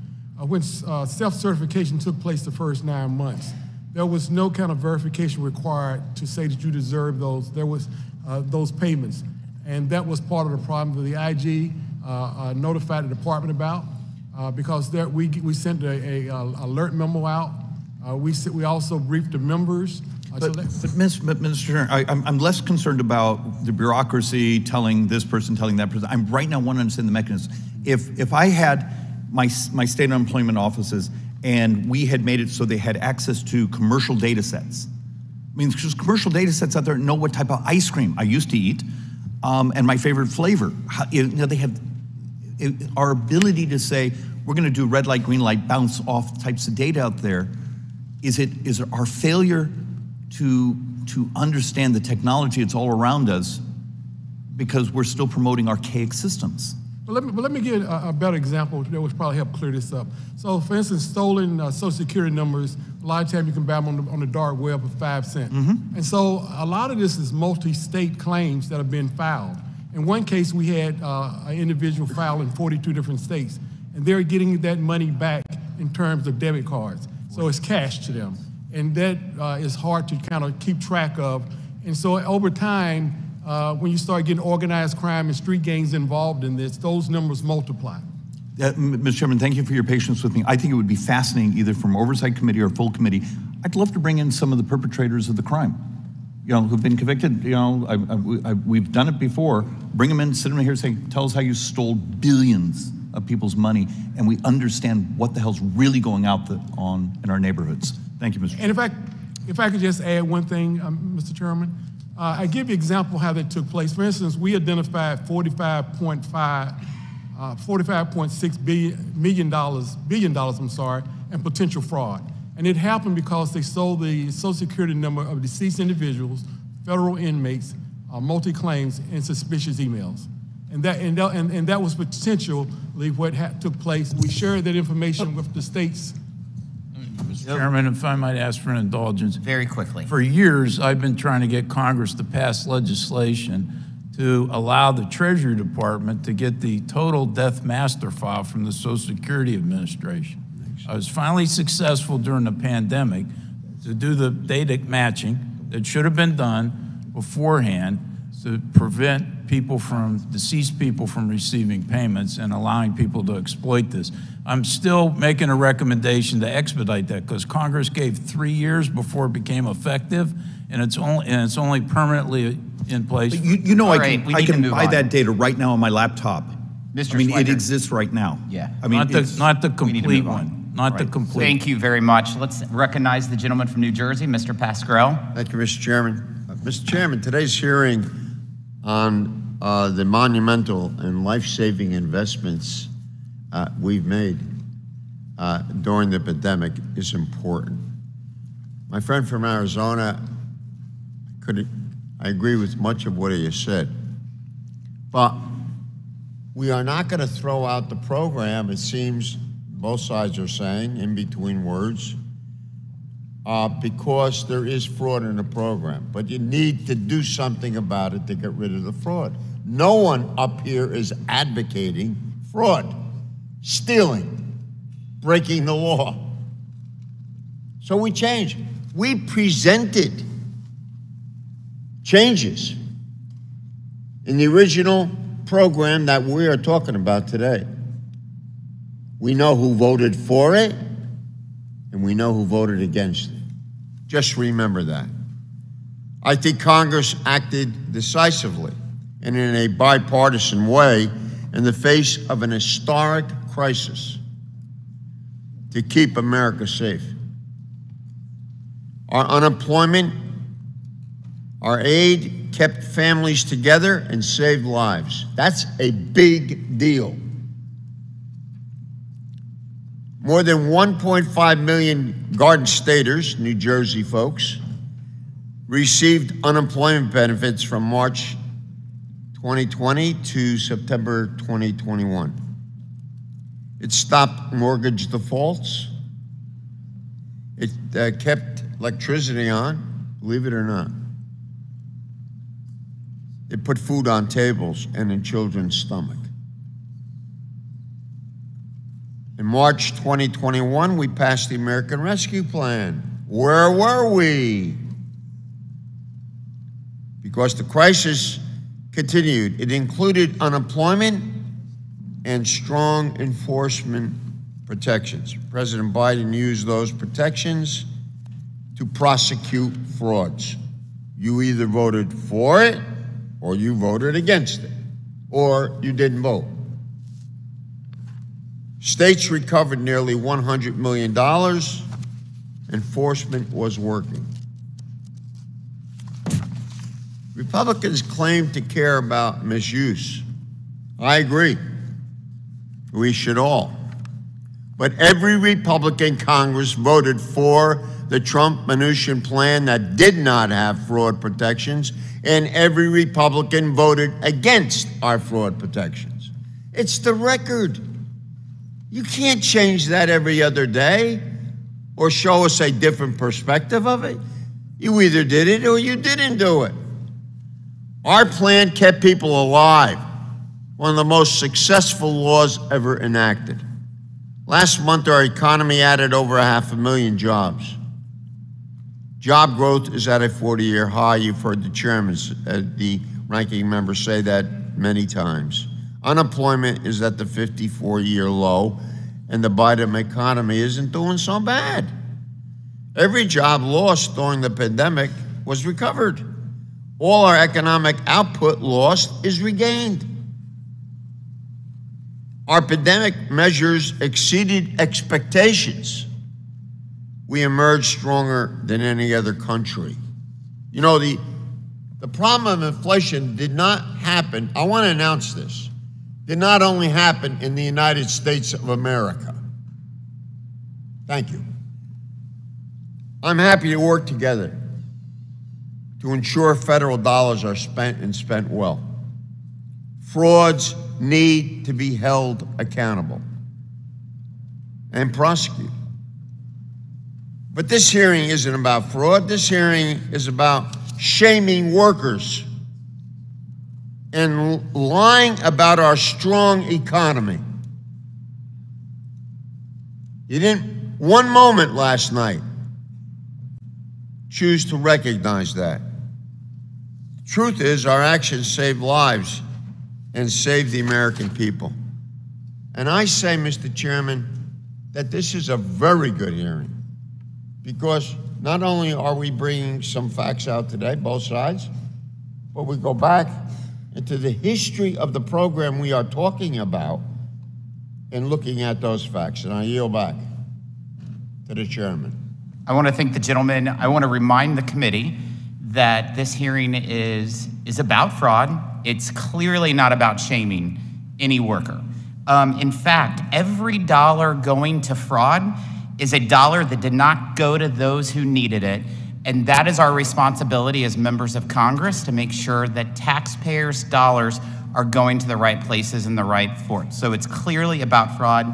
Pleased to recognize the gentleman from Texas, Mr. Arrington. Thank you, Chairman. Thank you, witnesses. Um, I've heard repeatedly comments from my colleagues that no one here on the committee is advocating for fraud. I agree. I don't think fraud is acceptable to a single Democrat or Republican. But, the, but if we're going to talk about the facts, the fact is there was a trillion dollars still unspent from the previous COVID relief package that was bipartisan.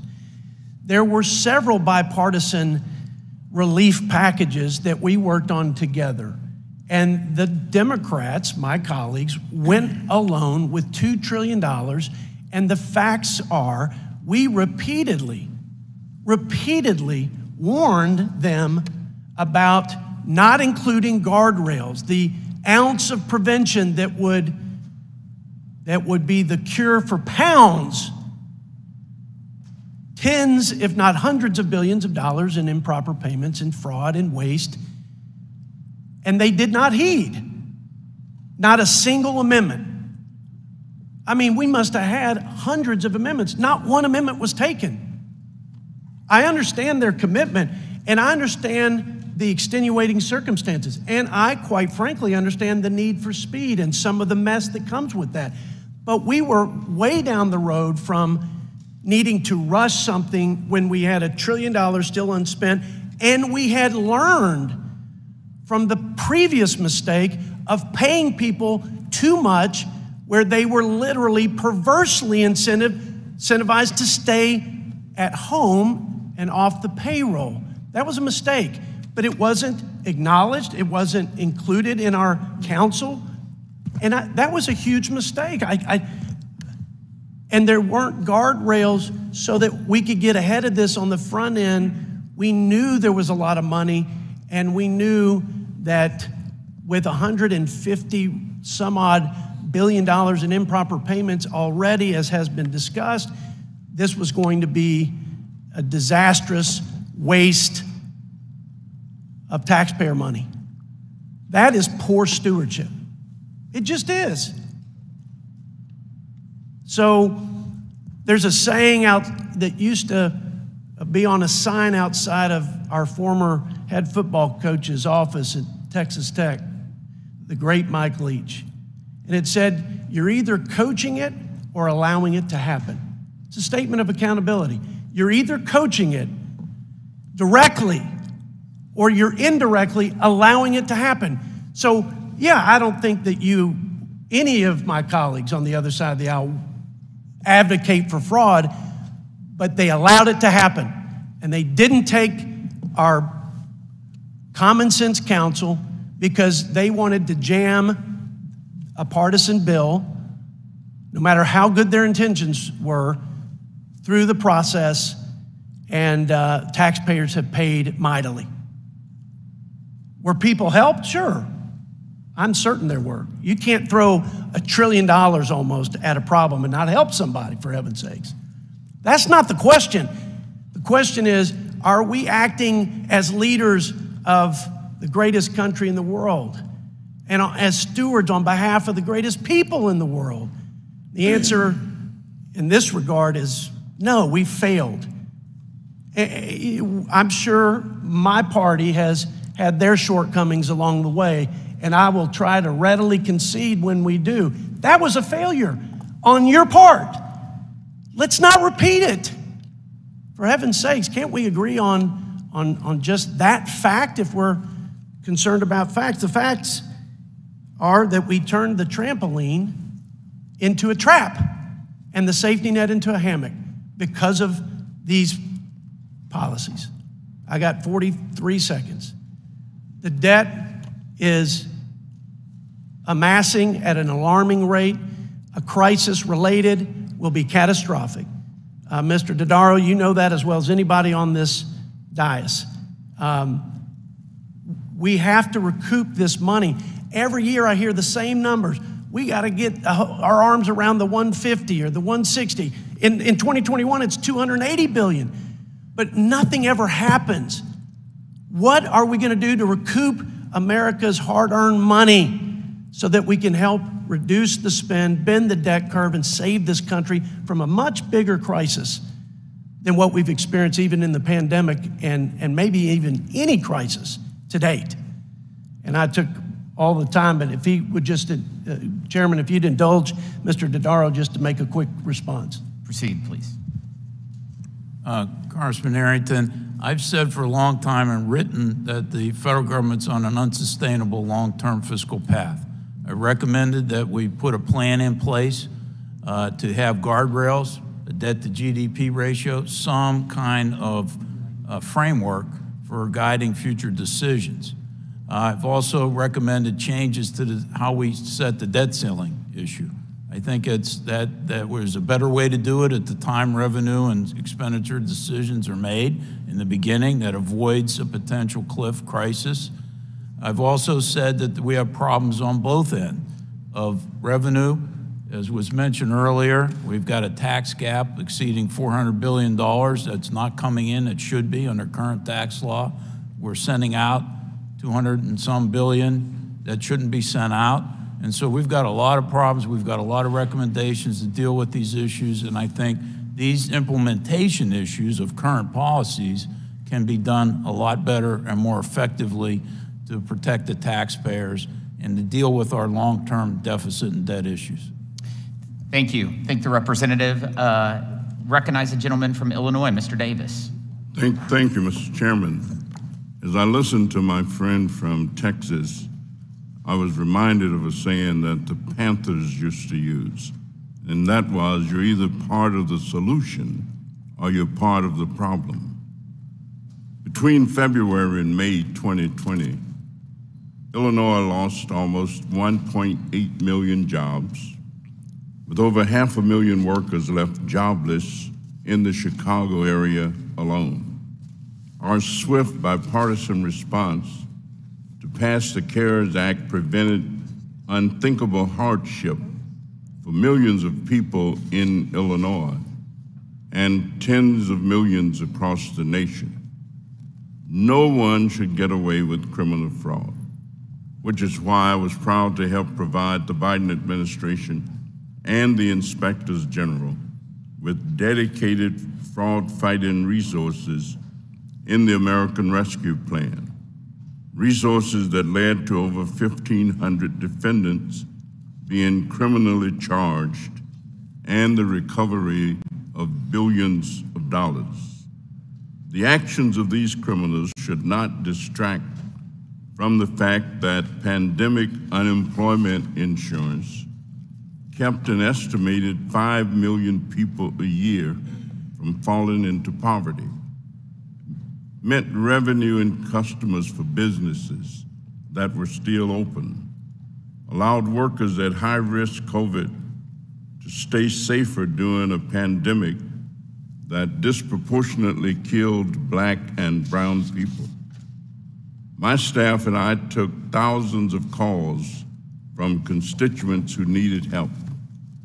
The Chicago economy relies a great deal on tourism, hospitality, and the arts, all of whose workers needed pandemic unemployment benefits to survive.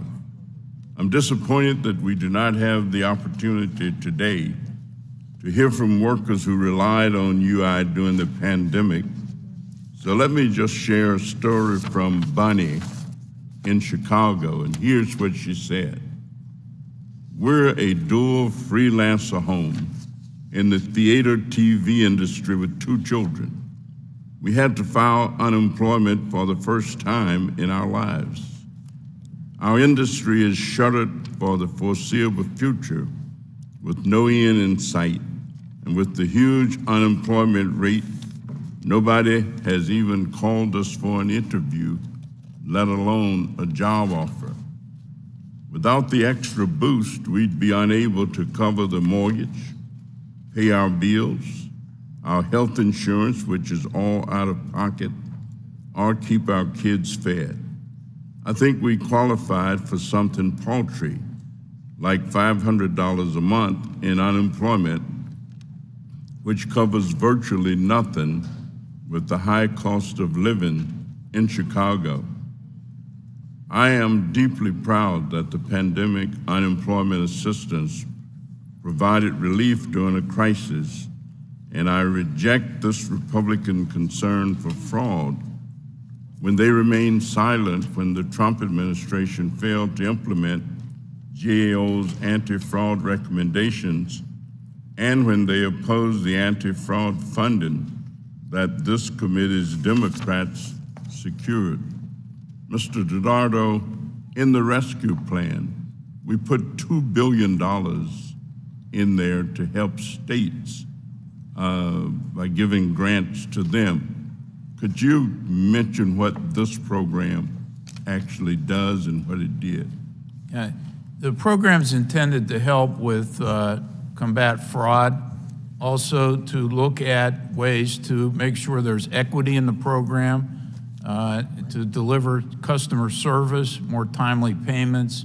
We also found some disparities in the amount of uh, payments that were going to different racial groups. Uh, and uh, we are, in our continuing ongoing work, going to be looking specifically at what the 2 billion was used for, and we'll be reporting to the committee. Thank you very much. Congratulations on your long tenure. And, Mr. Chairman, I yield back. Thank you, Representative. In regards to the, the $2 billion that uh, the gentleman from Illinois just mentioned about, I actually asked my Department of Labor in, in the state of Missouri to ask if it worked.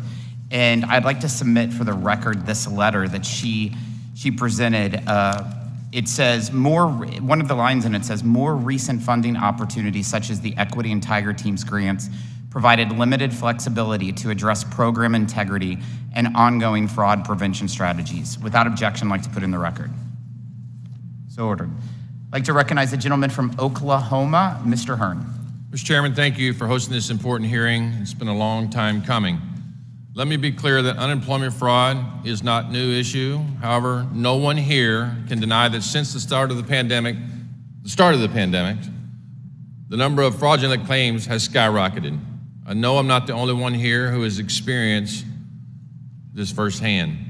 Now, I first shared my story during a roundtable hosted last, last year by my Republican colleagues on this very topic. From their lack of action, it is increasingly evident that the Democrats, uh, my Democrat colleagues, are still aren't grasping the scope of this issue, so let me show you. So this right here is a box uh, 27 pound box that I had my staff go dig out of uh, storage, had my folks back home dig out of storage, and it represents from March 2020 to April 21, 789 fraudulent claims on an employee base of 324 employees that my family business had happened to them. Just 14 months. And yes, as, as the ranking member said, this was prior to the, the current administration but that should make it all the more important of why we need to investigate the fraud that's going on across America. The American taxpayer does not care who's in the White House. They want to know where their taxpayer dollars went and did it go to not any Americans at all? Did it go to places like India and elsewhere around the world as we knew what went on? These 789 fraudulent claims were of people that never worked for me, ever. In 25 years of business, had never worked for me. And had we not done due diligence on every single claim, they would have been paid out. Now, I will tell you, um, when you look at this, we also had people who had been continuing to work that got 1099 saying they were not working. And yet, we still do not want to have an adult conversation about what really went on with hundreds of billions of dollars of fraud across this country in the UI program. And so, when we talk about this, I, I really want to get to the idea and the thought that why we can't have, and why we haven't had, I think some of you have mentioned this, that the closer we can do this, and, and I know that one of you all mentioned that we should have these conversations while we're doing the programs and recognize that when you're really just passing out hundreds of billions of dollars, some would argue trillions of dollars in the time that's happened to us in the last 24 to 30 months, that we have a propensity, and when it's federally mandated, that we're going to have fraud. We should acknowledge that, and we should do our job. It shouldn't be political, it should be bipartisan to sit down and talk about where this fraud is at. Now, I, I will tell you that uh, we know that this unemployment insurance system is deeply flawed. It's been around since 1935. People have figured out how to beat the system. It's happened. We see it. This is a testament to it. Anybody's more than welcome to look at. You can't take pictures because it has social security numbers on it, but you can take a look at them and see what we're talking about. You know, when we look at the, um, the issue that we talked about with workers not working, it is a fact that we know that we sent out hundreds of billions of dollars in incentivizing people beyond the time when some states were going back to work with no discernible difference in the outcome of the COVID pandemic. And yet, people in the state of Oklahoma were funding fraudulent claims in places like California and New York. And no offense to my friends, but that's where the, the largest amounts of, just from the sheer population, the fraud occurred. And I have to answer to my friends and my constituents back home in Oklahoma why it's okay that the United States Congress cannot hold a hearing on fraud and they have to continue to have their taxpayer dollars being paid out in fraudulent claims. Mr. Turner, what motivation do states have to mitigate fraud when the burden of loss falls on the federal government? Well, well, well first, uh, I, I, think there is uh, incentive. And part of what uh, the department is trying to do is uh, also offer up a policy of getting a 5% return uh, on when fraud is uh, pointed out and so and have that fraud returned back. So I think that's part of the incentive I know the department is trying to do, and we concur with that. That's been part of their recommendations because that would help them pursue it a little more vigorously. So, so in following up to that, what's what's been uh, done to hold the most negligent states accountable so that the hardworking people of states like Oklahoma aren't paying the price? Well, I think uh, the department has uh, really reached out to all states and and trying to hold them accountable. I mean, with our work, we really don't it, we really don't care what state someone is, is in, uh, but when there's fraud that occurs and once it's identified, we work with our law enforcement partners uh, around the country to try to address it. Any any reforms you see we should be doing uh, so that we don't have this happen again? Well, here's the biggest problem, in my opinion. The biggest problem is that as the OIG, we make a lot of recommendations. And if you look back over the history, even 10 years ago, some of the recommendations that came up this time are the same problems that went unaddressed, whether it be uh, antiquated uh, uh, IT systems or whether it be lack of staff training. Those are things that we've identified. And with this new program that, that, that was out uh, with PUA, there were some uh, states that uh, the, the officers were not trained properly or didn't know, and in some cases they waived that requirement uh, because there was a lack of understanding of how that process worked. I'd like to thank the witnesses. Uh, yield back. Thank you, Representative. I'd like to recognize the gentle lady from the state of California, Ms. Sanchez. Thank you, Mr. Chairman, and good afternoon to uh, the gentleman on our panel. I want to thank you for your testimony today. Um, how to stop fraud is a very important issue, but so equally important is how to provide help to families during a once in a century pandemic. Mr. Dodaro, did you receive unemployment insurance at any point through the pandemic? No, although I Okay. would know for the record, someone filed a claim in my name. Okay, I'm just Uh, asking and- if you did. and the GAO The people- question was whether you did or not. Okay. Thank you. All right. Thank you. Mr. Turner, did you receive unemployment insurance at any point through the pandemic? No, I did not. Thank you. And Mr. Horowitz, did you receive unemployment insurance at any point during the pandemic? No, I did not. Thank you, gentlemen. I asked that question because it's increasingly apparent that this panel is missing a critical perspective. Someone who actually did receive unemployment insurance after losing their job. Republicans refuse to hear from working families who received this critical earned benefit when they had nowhere else to turn. Throughout 2020, my district office was inundated by constituents desperate for a helping hand. Many of them contacted my office as a last resort, saying they were about to forego food, rent, or their mortgage payments after losing their job. When my colleagues and I worked across the aisle to unanimously pass the CARES Act, we got pandemic relief out the door as fast as possible. Was it perfect? No. But we wanted and needed to help folks survive. And you know what? It worked. At the start of the pandemic, one of my constituents reached out to my office. She was an older woman who had just lost her job and was caring for her mother in hospice. Her UI benefits were the only source of income that allowed her to keep the heat on for her dying mother. Without this federal money, she, along with about 5 million more people, would be living below the federal poverty line. This critical lifeline also disproportionately helped older Americans, less educated workers, and black and brown workers. The point is that federal unemployment insurance during the pandemic was overall a major success. Again, was it perfect? No. But it kept families fed, it kept families housed, it allowed my constituent and her mother to continue living in dignity. We had to fact, act fast and no, we were not always surgical in what we did, but we learned from our mistakes. But today, my Republican colleagues want to highlight the program's shortcomings, particularly fraud. After the passage of CARES, the GAO made several anti fraud recommendations to the Trump administration. President Trump failed to implement any of these basic safeguards, placing American tax dollars at risk. My Democratic colleagues and I worked to address the criminal activity while recognizing the vulnerabilities in our state UI systems.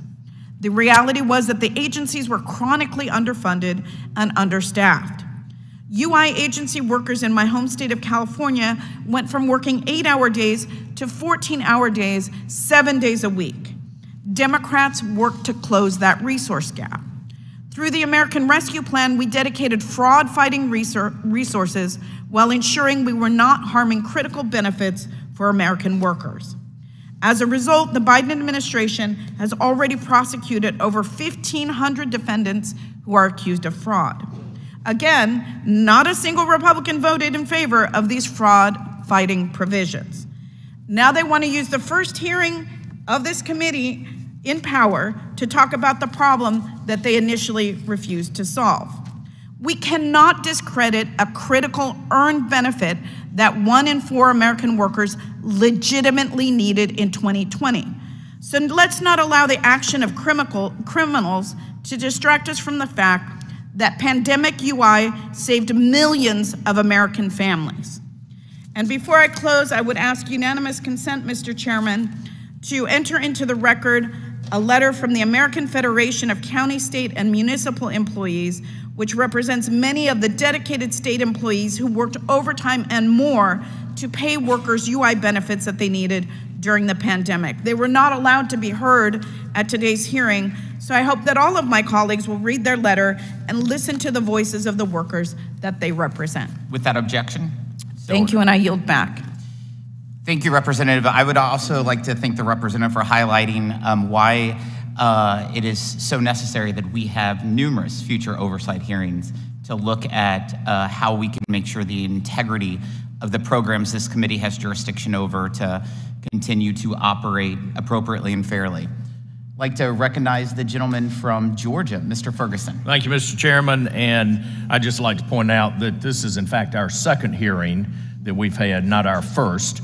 Um, and I think there were so many members on the other side that did not attend the first hearing that maybe they just slipped their mind. So I'll just point that out. I also want to address the, the insinuations that, that we have not, you know, that, we're, the, that we are going after the individual citizen here. This, listen, this was a huge program. We sent out money. This place, DC, decided to shut down the country and we knew we had to do something to help our fellow Americans, and we did. But then we went back to the well again when it was unneeded, and when we had an opportunity to put guardrails on it, we failed to do so. Now, I just think that's where we need we need to recognize, and we need we, we need our colleagues on the other side to get serious about the oversight and quit coming after Republicans when it's not right. So, get that off my chest. Mr. Turner, in this program, I think you said $191 billion in, in estimated fraud. Is that right? That's correct. All right, and you've recovered 105 million of it? No. Uh, uh, I, I didn't say we had recovered 105. We actually, as far as the labor OIG, we have 905 million uh, that we have uh, uh, not recovered, but monetary results. 105 million, is that? Um, No, nine, 900. 905 million monetary results. And what that is, is there may be uh, court cases or admin or civil resolutions to some of that. And some of it takes time to actually see that the funds. All right. Yes. So of, of those, of those cases, um, what do you, how much do you anticipate recovering? What's a, what's a good estimate? Do do you have any idea of what that may, what that may be? Uh, let me make sure I understand your uh, question. First of all, let me just clear, it's 191 billion that we say is improper payment. And there's 76 of that is uh, what is expected to be the, uh, the fraud rate. Okay, 76 is, Yes. is, pro- okay, I'm just trying to get, make, make sure I've got the, the numbers right right. on there. Okay. Um, and you said you have exhausted all of the funds that Congress allocated to you for, for those efforts. Did you, did I hear you say that I know you didn't hear me say that, but we're on the verge of doing that. Uh, On- the on- on the- 38 and a half uh, uh, million dollars that Labor OIG was uh, given as for oversight, yes, we are uh, close to exhausting those funds. Okay. So then there was another $2 billion that went for fraud pre- prevention. Is that, am I, am I right on that number as well? And we, Uh, I think you may be talking, are you talking about the 2 billion? Uh, let, let me, let me refer that. to 2 billion, Yeah, there was two billion that was given. It- It could be used for fraud, it could be used for customer service, it could be used uh, for these tiger teams that went in. So it was multiple uses, but Okay. that, that, there, there was that amount of money. all right. It, ju- it just seems like the amount of money we're spending on that isn't, isn't getting a really good return on investment overall. Okay, if you look, I, way I look at it. All right, so we got to be more efficient in that. Now, we've talked an awful lot about fraud, okay? And as we've said, all Republicans and Democrats up here, I think everybody in America, except the people committing the fraud, are against fraud. But there's a whole nother part here, which is improper payments, okay? Now, we, we, we- we've, been, we've been going after fraud, but we hadn't really talked about the improper payments. And one of the things I would like to hear very briefly from you today about is the improper payments. How did that happen? Why did it happen? And has anybody been held accountable there? We talk about holding the criminals that committed fraud there, but what about the ineptness of a, of a bureaucracy that is just simply not doing its job in issuing out hundreds of billions of dollars in improper payments? Because again, improper payments, as the chairman said, a dollar that goes to the wrong spot is not a dollar going to the right spot. So, in some regard, I don't know that we've got so much a Republican or a Democrat problem. I- We may have a bureaucrat problem because this has gone on for two, two administrations. So, how does how do the improper? What's the biggest problem with improper payments? How are you going to fix it? And who's going to who's going to be held accountable for that, Mr. Turner? Uh, so again, part of the, uh, let me just clear what improper payment is so everybody be on the same page. Your improper payments is whenever a benefit is paid incorrectly. There could be the amount, or it could be overpayment, underpayment, or else it could be going to the wrong person. So that's the improper payment. And fraud is a subset of the improper payment. So I just want to make sure that I clear that up. Uh, and, and as far as uh, what we're doing, we're having uh, our audit work to take a look at that. I mean, we've uh, had 11 uh, audits that we've completed uh, throughout the pandemic. We have another, another 17 that are ongoing, and we have three that are planned work. So we are taking a look at that, and that's how we're holding the department accountable. Can I? Um, uh, I'm, I'm out of time, but if the chairman will grant Mr. Horowitz a. Can I just briefly on that point, I think one of the things that's important to keep in mind, I know Mr. Dodaro speaks about this a lot, these are, we're really talking about 54 programs being managed by 50 states, the District of Columbia, and three territories. Uh, it's very important to include in this discussion National Association of State Workforce Agencies and state auditors. they're the ones on the front line because states are doing it differently across the country. Some are doing better than others. I think it's very important as we think about this program going forward, how much control should be at the federal level, how much should be decentralized, as it largely is to the states, and, and how do we figure out what states are doing better than others, and um, using that model to increase the, the compliance rates and, the, and reduce um, improper payments across the country. Thank you. Yield back, Mr. Chairman. Thank you, Representative. And I also appreciate your attendance at both of our hearings this week, the first and today being the second. It was an honor and a pleasure, sir. Thank you. I would uh, love to recognize the gentleman from New York, Mr. Higgins. Uh, thank you, Mr. Chairman. Um, so, $5 trillion in pandemic relief was approved under two programs that included expanded unemployment and the Paycheck, Paycheck Protection Program. Uh, both of these programs were signed into law by both Republican and Democratic administrations. Um, so, Mr. Dodaro, you've been a employee of the Government Accountability Office for almost 50 years. Yes. And you have been um, Comptroller General for 13 years I'm working on that. and Yeah. acting two years before that. That's correct. Okay. Next month, it'll be 15 years since I've been in the job. And as the Comptroller General of the United States and head of the U.S. Government Accountability Office, where is your? It's a you know it's a it's a it's a five trillion dollar bureaucracy. Where is your focus primarily as head of that agency? Yeah, well, we focus on the entire full breadth of the federal government's responsibilities. Uh, you know, everything from IRS to the Defense Department, all the agencies. Now, we work closely with the Inspector General community to make sure that we're coordinating and making efficient use of our resources. How much time over the past um, 36 months, on a percentage basis, has been spent on waste, fraud, and abuse under those two programs, Paycheck Protection and uh, extended, expanded um, unemployment? Uh, we've issued at least 10 reports on those individual areas. We've spent a lot of time on the Paycheck Protection Program, the Economic Injury Disaster Loan Program, both at SBA. We've added that to our high risk list that I mentioned earlier, as well as the unemployment insurance. So I presume in your 50 years, you have never seen anything uh, of this magnitude as it relates to your office's responsibility to promote the integrity in the expenditures of those dollars. Uh, This has been the largest package in American history, rescue package in American history. I became acting comptroller general during the global financial crisis, so I was around for the $700 billion to unfreeze the credit markets, the American Recovery and Re- Reinvestment Act, before that Hurricane Katrina. This has been the largest uh, one ever. Okay, the unemployment uh, insurance program. So 2020 was 174 billion dollars. Uh, 2021 was uh, 115 billion, and 2022 was 24 billion.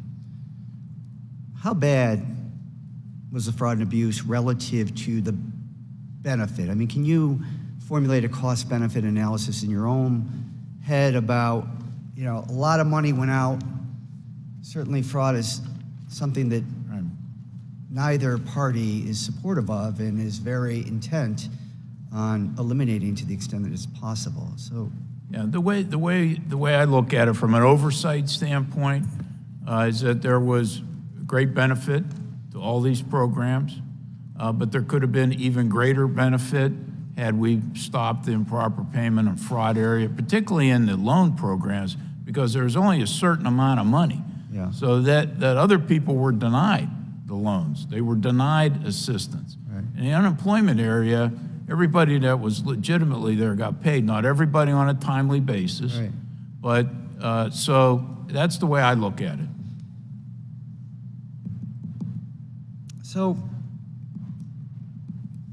nearly 50 years of, of service. You know, the greatest way to reduce unemployment expenditures at the federal and state level would be a reduction in the federal unemployment rate, which is today 3.4%, which is the lowest rate since 1969. That's 54 years. It's pretty incredible. But you also spoke at the outset of the infrastructure that exists or does not exist at the state level. It seems as though the federal government needed to do something quickly. We were all in an emergency mode. Uh, not a lot of time to structure a program, uh, including the infrastructure that was necessary to administer that program in a efficient way, reducing to the fullest extent possible fraud and abuse. So is it fair to say that the majority of the responsibility for the fraud and abuse is associated with the antiquated systems throughout the various states that we forced to administer this program? Uh, the antiquated systems were certainly a big part of the problem, but as my colleague, uh, Mr. Turner, noted, states had been on notice for years about that program. I know New York State, uh, the comptroller said, the deputy comptroller said that uh, they had been on notice since 2010. Right, but I get that, but but yeah. they were on notice to do something about their antiquated systems. This is like, you know, responsibility on steroids. We the unemployment rate reached nearly 14 percent. No, I understand. It, it, the states were overwhelmed. That, that was for sure. But I think it, it, goes to the incentive question. You know, in normal times, this is state money that's collected from taxes put on employers in that state. And they knew that there was fraud. They knew there were improper payments. So, I, in my opinion, looking back on this from an oversight standpoint, they bear some responsibility for not being better prepared. Now, whether they would have been prepared to deal with the overwhelming issue brought by the pandemic is an open question. I yield back. Thank you. Thank you, Representative. Recognize the gentleman from Ohio, Mr. Wenstrup. Thank you, Mr. Chairman. I want to thank you all for being here today. Appreciate your time. I'm glad we're having this hearing to examine really the unprecedented levels of fraud in the pandemic, pandemic unemployment programs. You know, I often think about our job here, and in situations like this, I think of the song America the Beautiful, uh, where we we ask God to help us mend our every flaw. And uh, I think this is a perfect example of us trying to do that. Uh, Mr. Turner, thank you for clarifying today, too, the difference between improper payments and, and fraud itself. Uh, 191 billion, I believe, is, is what's reported out from DOL. You know, in my home state of Ohio, it's estimated a billion dollars may have been paid in fraudulent unemployment claims from March 2020 to June 2022. And the problem is so rampant that our own governor, Mike DeWine, and his wife Fran, and our lieutenant governor, John Husted, were notified that fraudulent claims had been filed in their own names. It went that far. Uh, so it's a widespread problem. It harms Americans that it was designed to help. And, and obviously, we don't want that. That's a given. So many of my Republican uh, colleagues have been committed to protecting Americans who have been victims uh, of this fraud.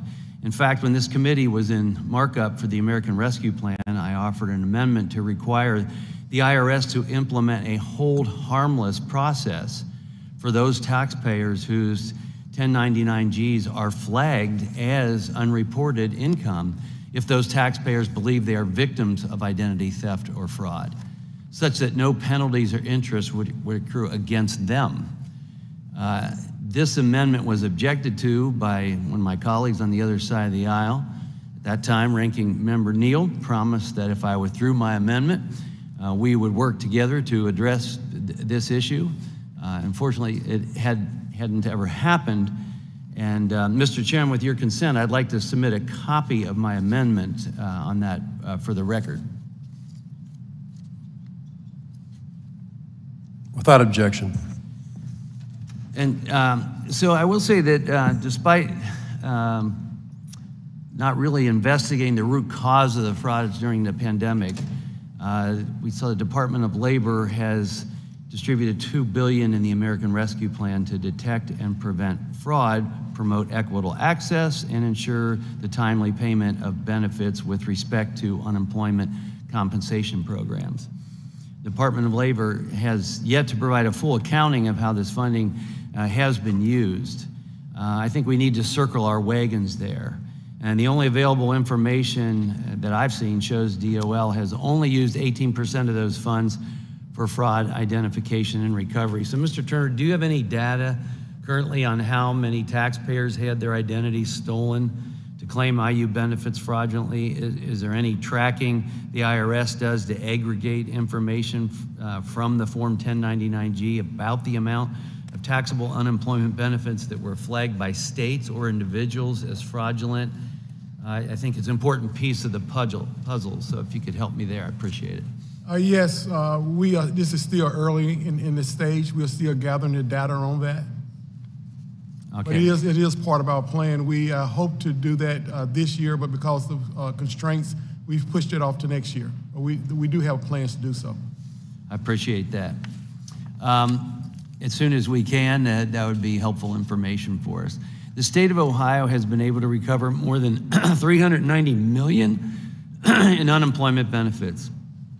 And despite the work being done by the Ohio Department of Job and Family Services and our participation in the National Association of State Workforce Agencies, Ohio is not receiving any portion of the funding they have recovered, the majority of which are pandemic unemployment assistance and federal pandemic unemployment compensation funds. So they're really trying to do their work. Uh, you know, states like Ohio are making investments in fraud recovery and prevention efforts as they continue to recover these fraudulent payments. I think we should be working to incentivize their investments in these recover efforts.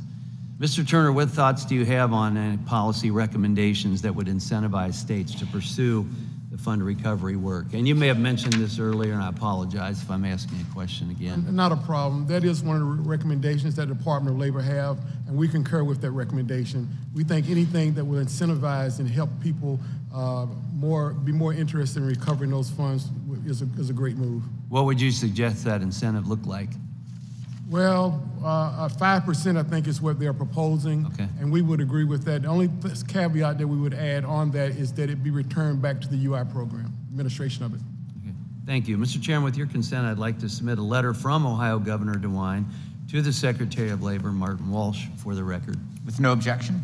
Thank you. I yield back. Thank you, Representative. Uh, I'd like to recognize the gentle lady from the state of Alabama, Ms. Sewell. Thank you, Mr. Chairman. To be clear, none of us want waste, fraud, and abuse in any government program. We all were sent here to be good stewards of taxpayers' money. I also want to just say that the facts are that we dealt with a once in a generation pandemic and that there were lots of Americans, vulnerable Americans, who were left more vulnerable because of this pandemic. In my state of Alabama alone, 532,000 Alabamians were spared from economic disaster because of the work done by this committee and the House of Representatives in the early months of COVID 19. The American Rescue Plan provided many states, unemployment offices, the necessary resources to ensure that funds got out the door in a timely fashion to those facing the most dire economic and health scenarios imaginable at no fault of their own. I will never forget the sight, the sight of family after family lining up in cars to local charities and to churches and to pantries to have food loaded into their cars. And do you know why I will never forget it? Because I was bagging and loading lots of those groceries each and every time I was at home. These people were people who, two weeks ago, earlier than when, this, the, when the pandemic started, had jobs and no fear of losing the roof over their heads. And then all of a sudden, they had friends and neighbors turning to them, offering them assistance to just get by. I didn't want my families to just get by.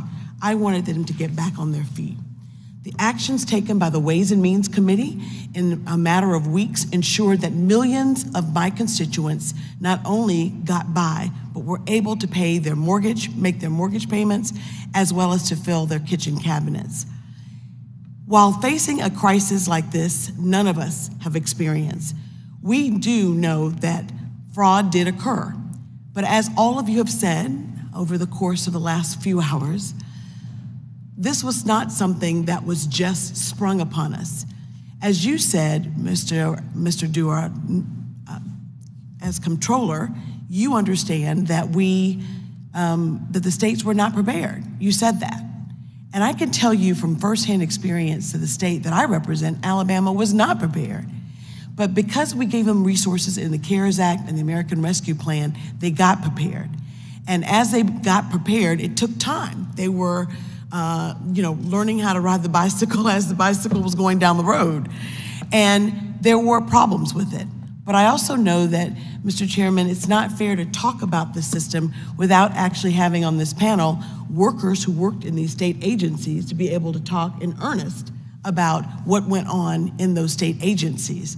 I also note that we did give money. We gave money uh, back when this pandemic first got started, and the Trump administration did not put together um, an anti fraud program that would help prevent this. Now, I know that fraud will happen in any program, but I guess my question to you is what can we do to make sure that states are more prepared and actually assist in finding those fraudsters that are out there?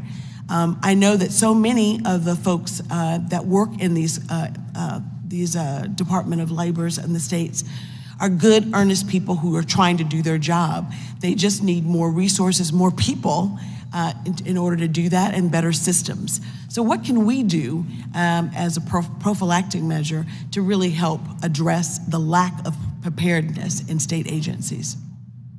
Um, the first thing I'd suggest is that I mentioned earlier the Fraud Reduction and Data Analytics Act that Congress passed in 2016. That only applies to federal agencies.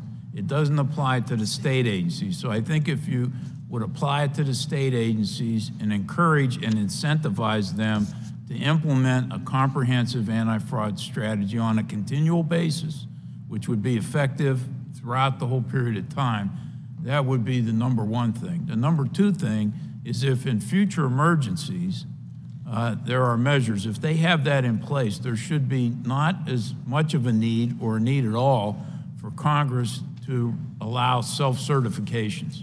That, I think, helped uh, tie the hands of the states a bit because they weren't allowed to ask for documentation and support. So those two things would allow them to be prepared, manage the normal program much better, and be prepared for emergencies.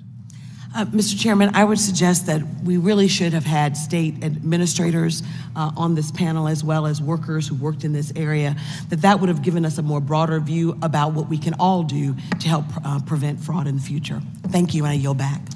Thank Representative. Like I said earlier, this is just the first of many oversight hearings.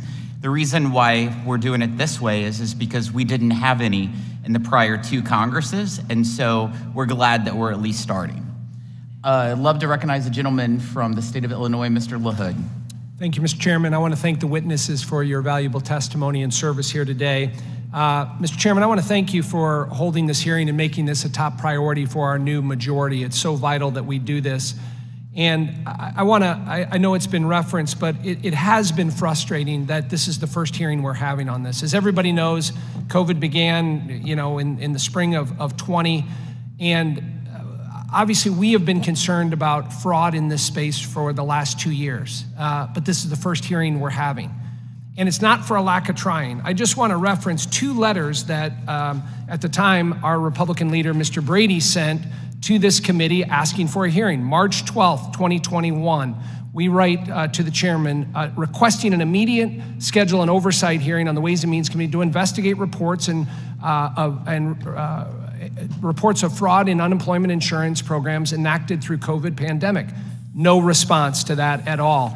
So with no response, we send another letter uh, 10 months later, February 22nd, 2020, again, at the time, uh, to, to, the chairperson from uh, Ranking Member Brady, uh, Ms. Walorski, and Tom Rice, and Mr. Kelly, again, um, asking to investigate the size, scope, and severity of criminal fraud in pandemic unemployment insurance. No response, unfortunately. I would like to submit both these record, both of these letters for the record, Mr. Chairman. Without objection. Uh, couple that with what uh, Dr. Wenstrup just said. We offered an amendment uh, to, to get to the bottom of this on unemployment insurance. Nothing. So here we are today, uh, having this hearing today. And so, uh, again, vitally important that, uh, that we use our responsibility with oversight to have some accountability in this program.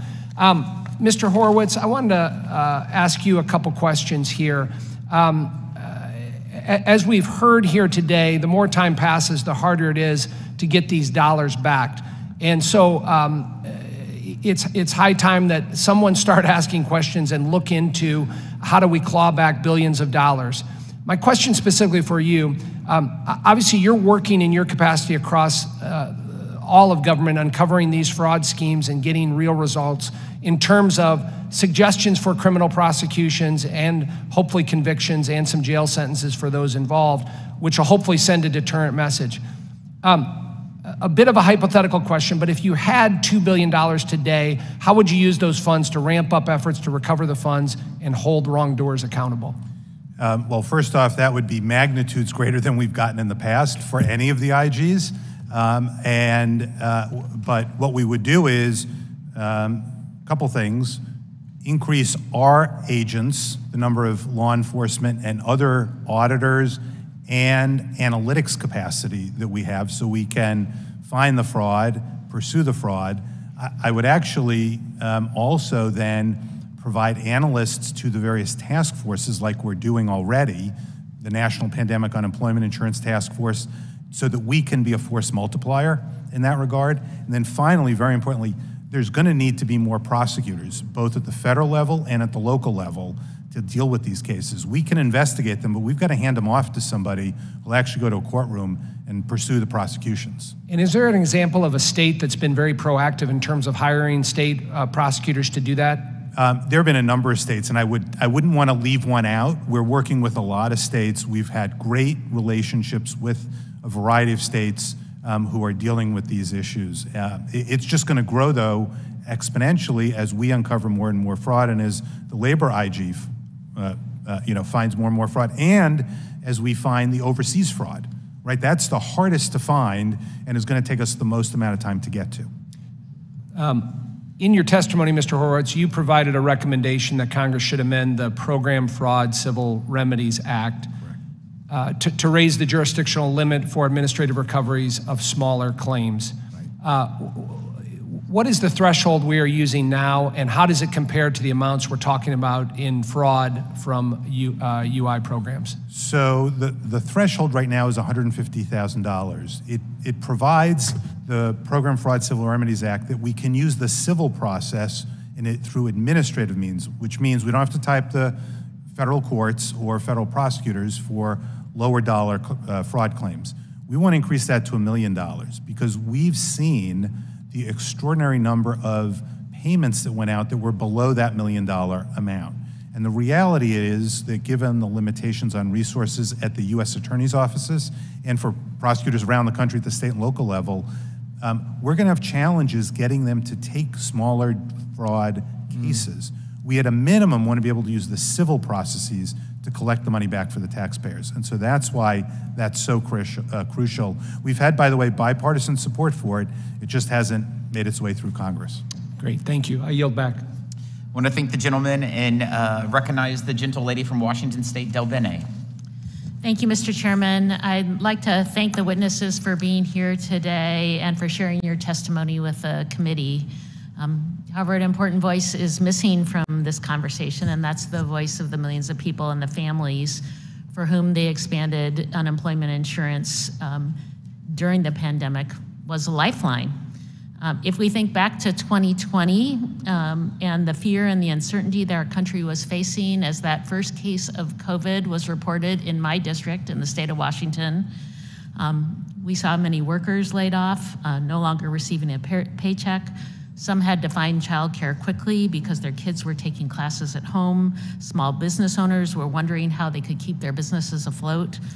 Overnight, our world shut down. Our nation lost nearly 22 million jobs at the outset on the pandemic. And Congress needed to act, and we needed to act quickly to ensure that families kept food on their tables and roofs over their heads. And that's exactly what we did. To address the dramatic level of job loss and hardship caused by the pandemic, Congress passed bipartisan legislation which temporarily increased state unemployment insurance benefits by $600 a week. And this ensured that families had the money they needed to stay afloat. We also created temporary benefits to self employed workers who were not covered by state UI programs to ensure that these people were not left without support. These changes and increased funds had a real impact for the families and the workers in our communities. I wanted to share the story of a Washington family, um, Lori, who works for an education nonprofit, and her husband worked for music venues. Her husband was undergoing cancer treatment, and their family was already living paycheck to paycheck. When the pandemic hit, Lori's husband was laid off due to the live entertainment industry shutting down. The extra $600 in unemployment insurance was critical to ensure that Lori's family was able to pay their mortgage, pay medical bills, car payments, and meet the basic needs of their teenage daughter. Critical programs like the expanded unemployment insurance and the Paycheck Protection Program were essential to our record breaking economic recovery. Because of the actions that Congress took then, the American job market has exceeded pre pandemic levels, and we now have historic unemployment. Um, incredible impact. So, thank you for this hearing. Thank you, Mr. Chairman. I yield back. Thank you, Representative. I'd like to recognize the gentleman from Kansas, Mr. Estes. Well, thank you, Mr. Chairman, and uh, I'm so glad we're having this hearing today on this very important topic. You know, the, the, facts are that as representatives, we have a responsibility to ensure taxpayer dollars are used efficiently and effectively, and the evidence is apparent. There has been nearly unchecked unemployment fraud. Now, I want to be clear in the early, uncertain days of the pandemic, there were good reasons to help countless Americans who faced those unprecedented economic challenges through no fault of their own. But we're nearly three years past the first pandemic related legislation and my colleagues on the left have chosen to completely ignore the rampant fraud that has cost taxpayers an untold amount. Um, estimates in some uh, points uh, uh, and, and, some outlets have arranged uh, up to as high as uh, three to four hundred billion dollars. In addition to the money lost, there's evidence of gross incompetence, including from the, the governor's Department of Labor in my home state of Kansas, that left many without assistance who desperately needed it. Despite unemployment being a function managed by the state, my office in Wichita received more than 1,000 calls from constituents who were negatively impacted by Kansas, un, by Kansas unemployment system. I have many stories of people impacted. For more than a half a year, one constituent waited while her legitimate claim mysteriously ended up in the fraud department. Despite repeated calls and attempts to resolve the issue, nobody in the Kansas Department of Labor could help her. Others reached out to let us know that they themselves had been victims of fraud. Uh, several received a notification in the fall of 2020 that someone had filed claims for unemployment under, under their name and, and received a 1099 in 2021, claiming that they owed taxes on the benefits uh, someone else had received. Today, we still hear from Kansans who are victims of fraud or have yet to receive benefits they deserve. These are just a few of the cases, but they point to a real problem in Kansas and across the country. Taxpayers lost out to fraudsters who used the pandemic, massive amounts of federal funds, and weak state leadership to game the system. In May of 2021, Ways and Means Republican held a roundtable on this subject, and I invited State Representative Sean Tarwater to testify. As the chair of the Kansas House of Commerce, Labor, and Economic Development Committee, he saw firsthand the issue with fraud and unemployment. In his testimony, he said, We documented over 40 times Kansas Department of Labor was notified, directed, and informed about massive concerns regarding unemployment benefit frauds. He also said that when the Kansas Department of Labor, uh, when asked about the fraud, their response was they're not worried about the fraud because the big money, quote unquote, was in the federal funds, and it was mostly the federal programs that were being targeted. And that they would always add that they were not held responsible for those funds so that it was not a priority. Mr. Chair, I'd like to submit to the record two audits conducted by the Kansas Legislative uh, Division of Post Audit that indicated uh, roughly $700 million in potentially fraudulent payments were made, with half coming from state funds and half coming from federal, or about $344 million. Without objection. Despite the evidence, there's not an incentive for states to recover these unemployment frauds, and hardworking Kansas taxpayers are left with the bill. Mr. Horowitz, what processes are in place for states to help recoup funds lost to UI fraud, both state and federal funding? So um, I think one of the key parts of that uh, um, is working closely with IGs, local state uh, law enforcement, um, and their state's attorneys general to make sure there are processes by which the taxpayers can get the money back. That's one of the things we're trying to do is work closely and have, and have focused on with state auditors. In fact, we have a, we created the first ever state auditor in residence program. So we have two Tennessee state auditors working with the PRAC to help us, as well as the former California state auditor, so we can develop those relationships and work more closely with the states. So how, how are you looking at or expecting states to, to recover funds that may have been uh, uh, a result of international crime? And what state or federal jurisdiction is there, and, and what's been currently done on that, on that front? So um, the, the SWAs, the state workforce agencies, they're not the law enforcement arm of this, of course. So um, the key is working with local law enforcement, federal law enforcement. We're working with the Secret Service, FBI, other federal law enforcement agencies, and trying to develop those partnerships because that is the key to the success of moving forward. There has to be the interest not only in making sure the money gets out, which is obviously important, to the right people, but then making sure when it doesn't get to the right people that there's the recovery. Right. Well, thank you. And I want to thank all of our witnesses for the work that you're doing on behalf of the American taxpayers and helping make sure that uh, we get money in the right hands and that taxpayers are protected. I yield back. I want to thank the representative, and now I'll recognize the gentleman from Pennsylvania, Mr. Smucker. Five minutes. Thank you, Mr. Chairman. Uh, thank you for holding uh, this hearing. Uh, oversight is an important role of uh, this committee of Congress. And when we know that there's uh, at least 60 billion lowest number and perhaps hundreds of billions of dollars that uh, were fraudulently uh, given to others than those who deserved it, we should be, we should be uh, uh, evaluating that and looking at and, and seeing whether the administration did all they could to prevent that and see whether this committee under Democrat leadership ad advocated their responsibility to provide that, uh, that oversight. I'd like to use my time to respond uh, to a few of the comments made by Democrats, starting um, with the ranking member, who I have a great deal uh, of respect for. Uh, he opened with a fiery speech uh, that um, conflated the idea that looking at fraud was the same as uh, trying to prevent benefits from going to uh, individuals who really needed a lifeline. And I say it's quite the opposite. Uh, and in fact, if another thing we heard was that there's a voice missing here, voices of families who benefited from those dollars, I think they would be appalled to know that as much potentially as for every dollar that they received in a lifeline went to someone that didn't receive it and will be paid either by them or by their kids and their grandkids, which is most likely, they would be appalled at that. And I think it would be important to have, have their input on that. I thought, based on uh, the ranking member's comment, that he perhaps misunderstood the purpose of this uh, hearing in conflating those two messages. And then as I listened further to um, other Democrat co comments, I realized it was more than that. They were literally trying to say that Republicans, by holding a hearing of this sort, did not support helping individuals. And again, that's just not true. And they also said that uh, we didn't vote for $2 billion worth of fraud prevention.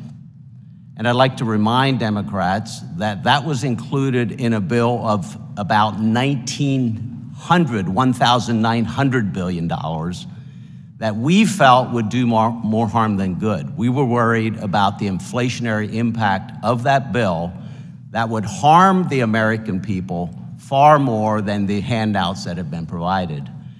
Uh, and by the way, we heard that from um, individuals, everyday Americans, in our first uh, hearing, uh, where uh, individuals said uh, that those inflationary pressures they have now are, are, are hurting their ability to provide for their families and are, are, are threatening their ability to be able to keep uh, their businesses open. And I, I know this has been mentioned before, but I'll say it as well to the ranking member and the rest of the Democrats here. I thought it was very unfortunate that Democrats were unwilling to leave the bubble of Washington, D.C., and hear from real American people the impacts of our policies. And I appreciated that the chairman uh, put together a field hearing, and I know we're doing more, and I hope that Democrats will reconsider because I think it was a very, very valuable hearing, and I think it'd be worth all of us uh, hearing that. By the way, we were right in the impacts of that 1.9 trillion ARPA. Uh, we had all first voted for the CARES Act. We felt it was we felt it was absolutely important, but it led to the highest inflation rate in in 40 years. We were right. And if you want to talk about Biden's economic policies, I uh, read a newsletter this morning that I thought nailed it pretty well. You know, Biden came in and inherited a, an economy that was growing at 6.5% and an inflation rate of 1.5%. And somehow he was in two years successful at completely inverting those numbers. And we had 6.5% inflation in an economy that is barely, that is barely growing. Uh, one additional point, uh, and this goes back to something the ranking member said as well. He proposed the idea that people did not respond, almost 40% of Pennsylvanians received more on unemployment than they could have earned going back to work. And he believed that people did not respond to that by staying home. And that, that I think, doesn't recognize the very nature, uh, the very uh, characteristic of human nature we all tend to do what is right for ourselves. We look out for our best interests. And one of the arguments that we had as Republicans against ARPA is that we put people in this terrible position of needing to decide that if they went back to work, they would be less able to provide for their families. It's an awful position to put people in. And we don't fault anyone for taking available what, or for taking advantage of what was available to them. But it was a bad decision on our part.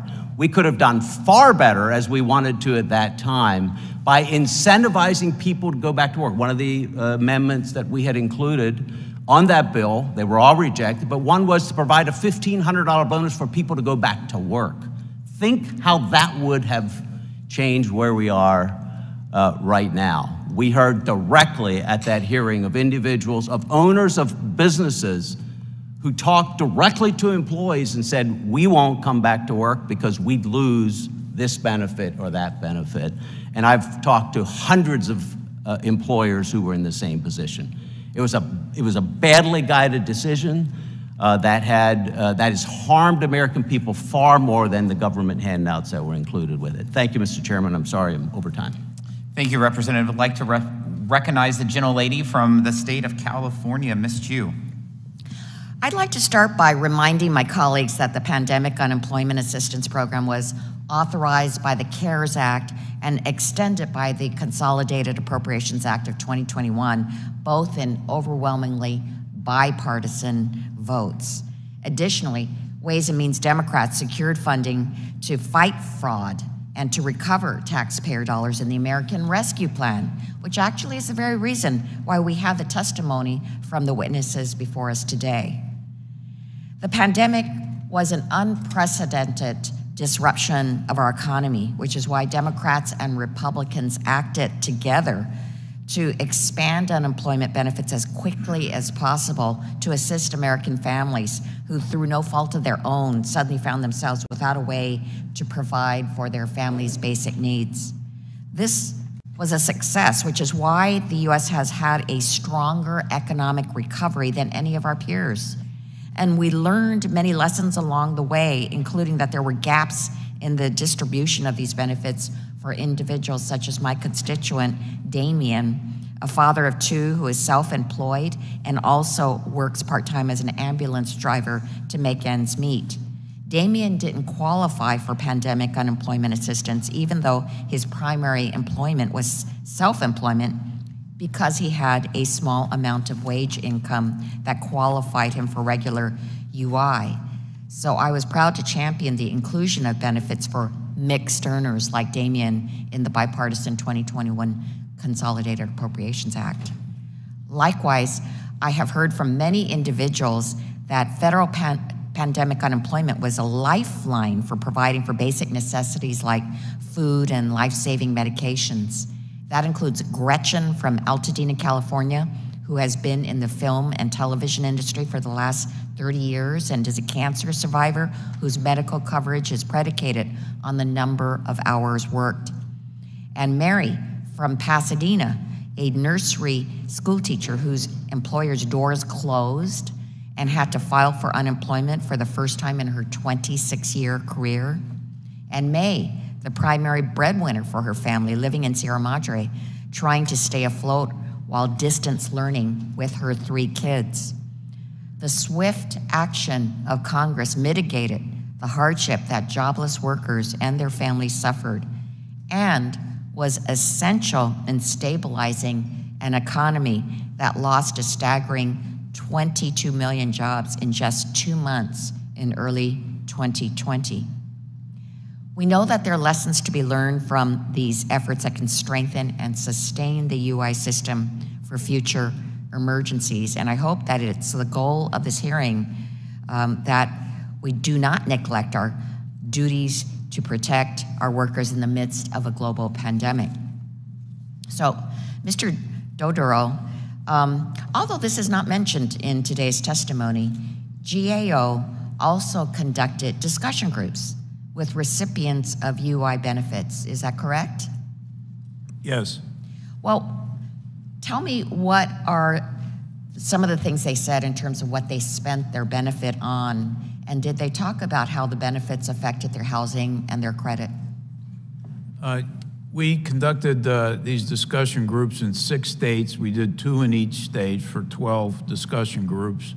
And uh, people told us they spent their funds on rent, utilities, uh, food, and uh, health care and other essential activities during that period of time. So it helped sustain them through that period of time. They, they also had a lot to say about the difficulty in getting the benefits in the first place, Mm-hmm. uh, and we included that in our report as well. And how did this affect their housing and their credit? Well, it helped them to maintain, you know, paying their bills. So I, I would assume that added a, you know, positive or at least didn't have a negative effect on their credit. And what do the dozens of high quality research studies GAO reviewed say about the effect that providing UI benefits during this pandemic and in past recessions had on economic stability? Uh, we reviewed 30 uh, empirical studies that were done, uh, and those studies indicated that it helped support the stabilize the economy during that period of time. It helped prevent the situation from getting worse, uh, and so it had a, a you know positive effect. Thank you. I yield back. Thank you, Representative. I'd like to recognize the gentleman from North Carolina, Mr. Murphy. Uh, thank you, Mr. Chairman. Uh, I appreciate you calling the uh, hearing today. Um, I, I, can't help but think we've gotten sidetracked a little bit. Um, the purpose of this hearing is not to hear um, stories that obvious how important these these funds were. I mean, my God, everybody can talk about how we desperately needed this program. We're here to talk about the fact that fraud occurred. Let me just redirect, pull us all back, and um, let's just direct in the right direction, get the facts. Uh, I, I, would just like to correct a few things, I guess. President last night said he's added 12 million jobs, the greatest in history. Well, he got rid of 10 million jobs because of what we did during the pandemic. It's just actually recapturing them. So let's get to the facts, let's be true. And we talk about the unemployment rate. Yeah, it's low, but our workforce participation rate now is lower than it was in January 2020 to the tune where more than two and a half million people are not working today who were working in January of 2020, hence the need for workers everywhere. That doesn't even add in the 18 million individuals who are now receiving Medicaid benefits, who, because President Biden, who has said the pandemic was over, continues the public health emergency where no state is allowed to audit its Medicaid rolls. So that's over 20 million people that we're talking about that should be back in the workforce and actually contributing to Social Security, contributing to Medicare. We'd love to get those people back. And so we're here today to talk about fraud. Fraud. And sadly enough, fraud occurs. It's not a Republican problem, it's not a Democrat problem, it's an American problem. It is the fact that when free money when money flows freely, people take advantage of it. Period point blank. In North Carolina, a citizen from the Republic of India uh, alleged that they obtained $40,000 in pandemic unemployment insurance for North Carolina residents, which, by the way, anybody who's in the resident is in the Embassy of India, by the way, in the District of Columbia can vote. Just, just as an aside to my Democratic friends that we're going to hopefully stop. Um, second, a federal grand jury in Greenville, North Carolina, where I lived, um, indicted three individuals for conspiring to commit wire and mail fraud for a heroin and fentanyl distribution ring in eastern North Carolina. Again, fraud occurs when money flows freely. It's not just balloons for everybody, it's actual real things that happen. Lastly, a woman in Charlotte uh, was uh, pleaded guilty of a million dollars in um, unemployment insurance fraud by defrauding the state of Arizona. These are real things, and I commend you guys for the work that you've done. I, I attack us for not actually attacking this earlier. Earlier, $350 million in North Carolina. And so we all know it's what we're talking about. We're not here to tell stories of, of how we helped it. We did. We can all tell those stories because it was absolutely needed. I just find it interesting that my colleagues across the aisle are happy to say uh, that President Trump's administration didn't put in um, fraud committee while they blame him for everything else, but then take credit for all the work that Biden did. So I just I think that's kind of interesting. So let me just ask a, a few questions as it is. Um, Mr. Um, Dodaro, can I just, what percentage of your workforce is back to work? Um, everyone. Everybody's back to work. Well, we were never not out of work. Okay. We, we, no, we've not. been working all the time. Excellent, excellent. I'm, I'm really glad to hear this. Um, the, I, I answer this to Mr. Turner and also to, again to Mr. Dara. Does the GAO and the Department of Labor know to the extent in which international cybercrime rings and foreign actors were involved in targeting state systems at all? Do we have any uh, information about what happened against, uh, against with cybercrime international figures for fraud for this? I think that question could best be answered by Mr. Horowitz and Mr. Turner. Okay, please do. Uh, yes, uh, it's equally spread. Uh, well, equally may be the wrong word, but it's spread throughout uh, on the international side as well as domestic. Yeah, we, we've seen uh, fraud occurring overseas. Secret Service has testified about this, about breaking up various rings in Nigeria, Russia, China, for example. Right, and I think it's, uh, and I'll just kind of end with this because I don't want to beat a dead horse. It, we all know that this fraud occurred, and we all know that we've um, not done our job as members of Congress in providing oversight. You know, it, it, it just seems to be an action that one side of this um, uh, body just is happy to flow the funds. And yes, our American people need it. But for those of us who've actually run businesses, there has to be accountability as to where our money goes. This isn't our money, this is the taxpayers' money. And if we don't know where it goes and where it should not be going, then we're out of business. And this Congress, my God, you know, look at our debt, which some people don't believe exists. Um, we would be out of business, absolutely, if we did not commit to making sure that our money is well spent and that criminals criminals are put back. Let me just ask a real quick question. If you just two seconds, if you will, Mr. Chair. Uh, Mr. Horowitz, can you expand on the suggestion to increase the penalties for these individuals? Um, yes, so what, what we've actually asked for is increasing the statute limitations from five years to 10 years. The challenge for us, and I know for Department of Labor IG, is we're already three years since the beginning of the benefits going out.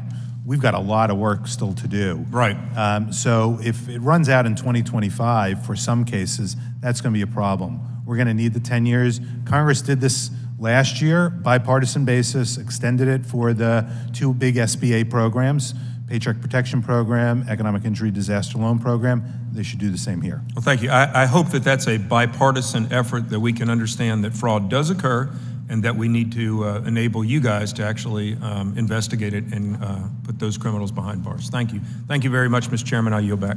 I want to thank the representative, but I also want to tack on to his points in regards to the unemployment numbers we've heard um, numerous times. It's also important to know the fact that workforce participation is currently at 62.3%, which is the lowest since Jimmy Carter was president. Love to recognize the gentleman from Tennessee, Mr. Kustoff. Thank you, Mr. Chairman. Uh, thank you also to the ranking member. Thank you, Chairman Smith, for convening today's hearing.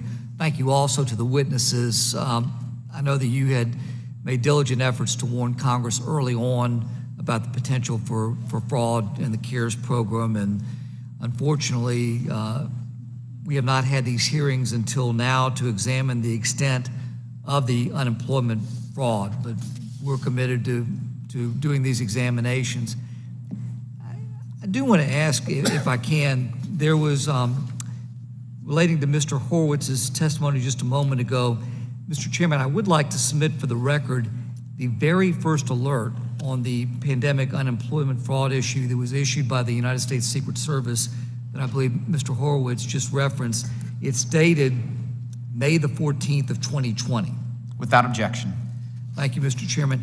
The alert is titled Massive Fraud Against State Unemployment Insurance Programs, and it was directed to financial institutions across the country. And to what Mr. Horowitz just said, it warned them of a well organized Nigerian fraud ring that was exploiting the COVID 19 crisis to commit large scale fraud against state unemployment insurance programs. The alert indicated, or indicated rather, that banks at all levels, at all levels were being targeted, and that the fraud ring possessed a substantial database of personally identifiable information of first responders, government personnel, and school employees. Uh, Mr. Horowitz, back to you for a moment. I think you testified a week ago before the House Oversight Committee. That's correct. Your, um, some of your testimony, what you said is referenced, uh, I saw in an ABC News article from last week. This is, this is what it said you cited, if I can, if I can read from this report. Uh, it says of the $5 trillion, $5 trillion total spent on pandemic relief throughout the, both the Trump and the Biden administrations, Horowitz said that the amount siphoned off by fraud could be anywhere from tens of billions of dollars to over $100 billion, but that it would be years before the final numbers were tallied. The issue, Horowitz said, was that the trillion dollar programs had to get off the ground quickly to prevent potential economic collapse, but they lacked key fraud protections, including verification systems and information sharing with other agencies to match up Social Security numbers with people's names and birth dates. So I guess my first question is that that fairly accurately reflects what you testified to last week. It does. You testified that the fraud could be over $100 billion. We've heard a lot of numbers testified to today. Um, in fact, it could greatly exceed $100 billion, right? I don't know. It could. All right. I'm a former United States Attorney. Mr. Fitzpatrick is a former FBI agent. Mr. Hood is a former Assistant U.S. Attorney. I think everybody here, um, hopefully on both sides, is concerned about the amount of fraud. Um, when do we know that number? When will we know that number? I think it's going to be years to get a more precise number, exactly for the reasons you just read, which is, and as you know, having been a federal prosecutor and for anybody who's been in law enforcement, to find the overseas fraud is particularly challenging. Yeah. You need to go through, you need the help of other countries to find the money because it probably isn't in the United States anymore. It's probably somewhere overseas. Do you, do you have an opinion whether the, the biggest fraud is, uh, is committed by domestic entities and individuals or by foreign entities? Um, I think it probably depends on the type of scheme we're talking about. I think whenever you undertake programs like happened with the two programs last week, the SBA programs, and the self certification here for some of the UI programs, you're inviting fraudsters to come in. They don't, they can be in the United States, they can be overseas. One of the things, by the way, we are looking at with the data analytics we're, we're able to use, we're looking at IP addresses now that we have that information. We're going to try and figure out how much of the incoming was from overseas. If I can briefly, two more questions. Again, you cited the problems with the system. Essentially, the systems don't talk to each other. The couldn't match up the social security numbers with people's names and birth dates. If we had another incident today, like the pandemic that called for whatever relief, are those safeguards in place today?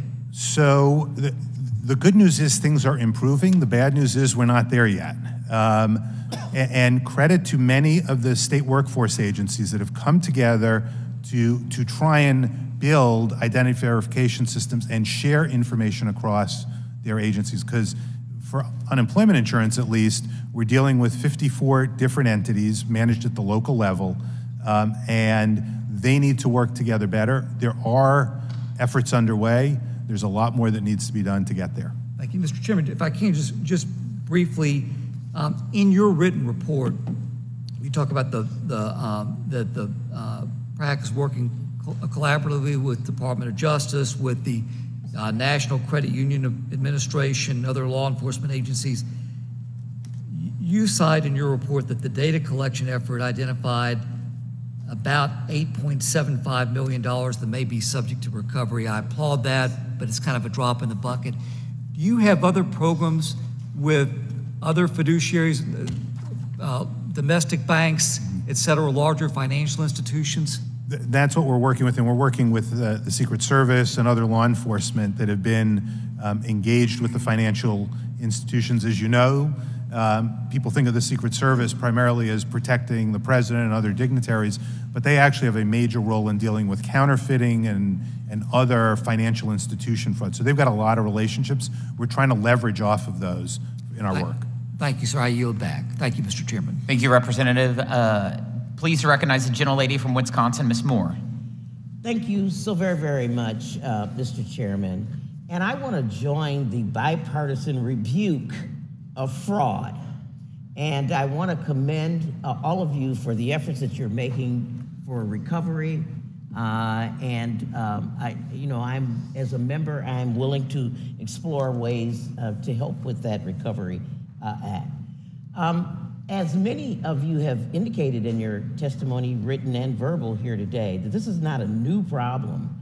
We've heard various dates pushed out by many of my colleagues about when this started, but I was thinking that uh, 2010 was when the GAO first gave us uh, a warning that our systems were at risk. Is that right, sir, Mr. Dodaro? Well, we, we, we've, uh, I don't know. What I said about 2010 was that the New York Deputy Comptroller notified New York State in 2010 that their systems needed to be improved. Right. Okay. Thank you for that clarification. And you know, I'm from Wisconsin, and um, I know that our IT systems go back to the 1970s. Um, um, you know, there was a sharp drop in eligible uh, unemployment recipients from like 40, 50 percent to 28 percent. And what states like Wisconsin did, many states did, is their uh, their staff, their trained staff, uh, was also reduced uh, in proportion to, to that. So no one was ready for this pandemic. That just left things open for, uh, for, for fraud, I would think. And I would like to just get some clarification from Mr. Turner. You mentioned that you know, a lot of the overpayments that we saw, and maybe even underpayments, were not people's faults necessarily. They were states' faults. Uh, their administrative problems that they had given this old technology and how overwhelming it was. I mean, we, you know, I have a report that I'm going to ask to be entered into the um, uh, uh, into the record, and it talks about how in Wisconsin, for example, that 80% of the people who called they just let the phones ring uh, because they couldn't respond to it. So would you would you agree that that really stuff outside of that you know states not implementing it, the Trump administration not it, it, it, uh, implementing your recommendations, that these things um, created a glide path for fraud. Well, there was a, a, a lot of mistakes uh, made from the uh, states, and in some cases, uh, it was uh, a lack of training on Yeah. the part of the staff. In the case of PUA, uh, it was a lack of understanding the program in some cases, and therefore that caused some of the errors. Right. But given that, I, I guess the other thing that I would like to know from you, um, um, with all of your experience, uh, Mr. Dodero, Dodaro, um, do you still stand by the statement that the U.S. Government Accountability Office reviewed 30 different empirical studies um, and uh, concluded that UI benefits created overall economic stability and improved outcomes for individuals? I do. Okay. And I just am sort of wondering if we had not provided, you said you were there when Mr. Paulson showed up asking for that 700 billion.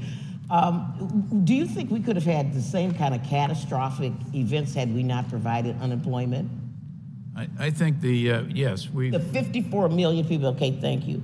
Um, also, you did these, these uh, 30 reports, and I, um, you said you reported that eight of the 12 studies reviewed discussed whether the benefits discouraged uh, folk from returning to work, and they said no. Is that, is that something that is the That's- case? That's what the studies concluded. Okay, very good. Well, anyway, I would like, uh, before my time expires, to enter into the record a couple of documents. One from the Wisconsin Public Radio. Lives on Hold, Pandemic Exposes Failures of Wisconsin Unemployment Insurance System. Um, and really, it's, there are so, so many sad stories. I have other sad stories I'd like to enter into the record. Uh, from my district office, it talked about people just feeling almost suicidal and giving up hope of not getting their benefits. Uh, this particular publication um, talks about a man in Wisconsin who moved into his car uh, because he, you know, he checked the wrong box. He said he was, he didn't know why he was let go of the job. So that just sent his application into weeks and months long uh, obscurity. Uh, and he was so humiliated as a man that he had to move in with his ex-wife and her new boyfriend uh, in order to survive. Uh, that, that, that, that's, that's very humiliating, and I think I would like everybody to, to share that story with everybody. Mr. Chairman, um, I'd like to ask unanimous consent to put in the record lives on hold. Pandemic exposes failures of Wisconsin unemployment insurance system and some redacted copies of the, my constituents who were affected and appreciated it. Without objection. Without objection. Without objection. Thank you so much, sir, and I, I yield back. Thank you, Representative. I'd like to recognize the gentleman from Pennsylvania, Mr. Fitzpatrick. Thank you, Mr. Chairman. Uh, Mr. Dodaro, um, just to slightly revisit the issue of state waivers uh, from a different angle, um, was, as was mentioned earlier, uh, I believe by one of my colleagues, uh, referencing the GAO uh, report back in March of 2021. Uh, in that report, you had discussed um, the issue of overpayments uh, with the PUA program. And the report said, um, uh, keying in on one provision there, the, said the DOL did not have plans to collect data on states utilizing authority to waive um, pandemic unemployment assistance overpayments uh, or the amount of overpayments that the states may have waived. Um, obviously, it's concerning that the exact amount of loss uh, due to fraud is not known for the reasons we discussed earlier. Um, but just uh, as far as having no information about states waiving overpayments, uh, some of which may have been fraud, um, don't you believe that that information is in fact needed to effectively monitor um, and ultimately recover these overpayments? Yeah, absolutely. We recommended that the Labor Department require uh, the states to report how much money they've recovered, how much they've waived as well. And so I'm always wary of waivers. And uh, I think it's important that uh, the uh, Labor Department have accurate information from the states to monitor that effort. And any suggestion on a remedy there moving forward? Well, there just needs to be required reporting of that. I think that's just proper management of the program uh, to be able to do that, and the, and the department ought to follow up with the states. And I think it's also appropriate to either have the state auditors or perhaps at the federal level, one of us do a sample of the waivers to make sure they were adequately supported uh, during the process. So there, do you, there do you have to the be- manpower to do that?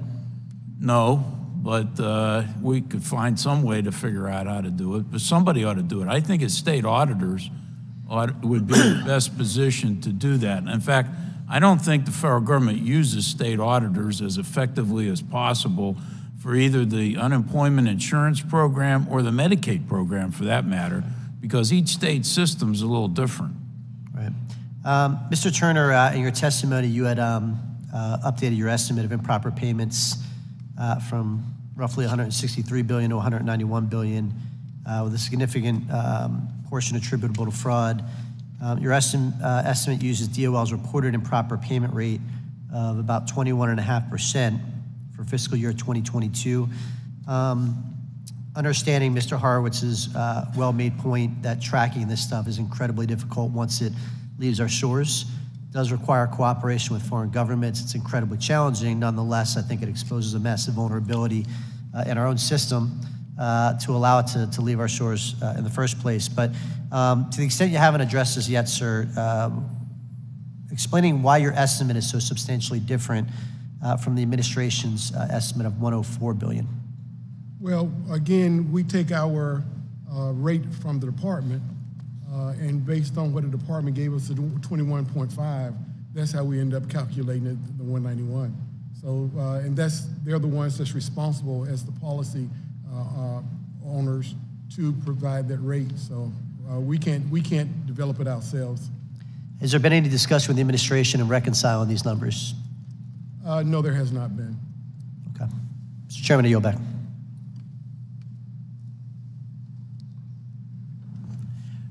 thank you, Representative. In, uh, recognizes the gentlelady from New York, Ms. Tenney.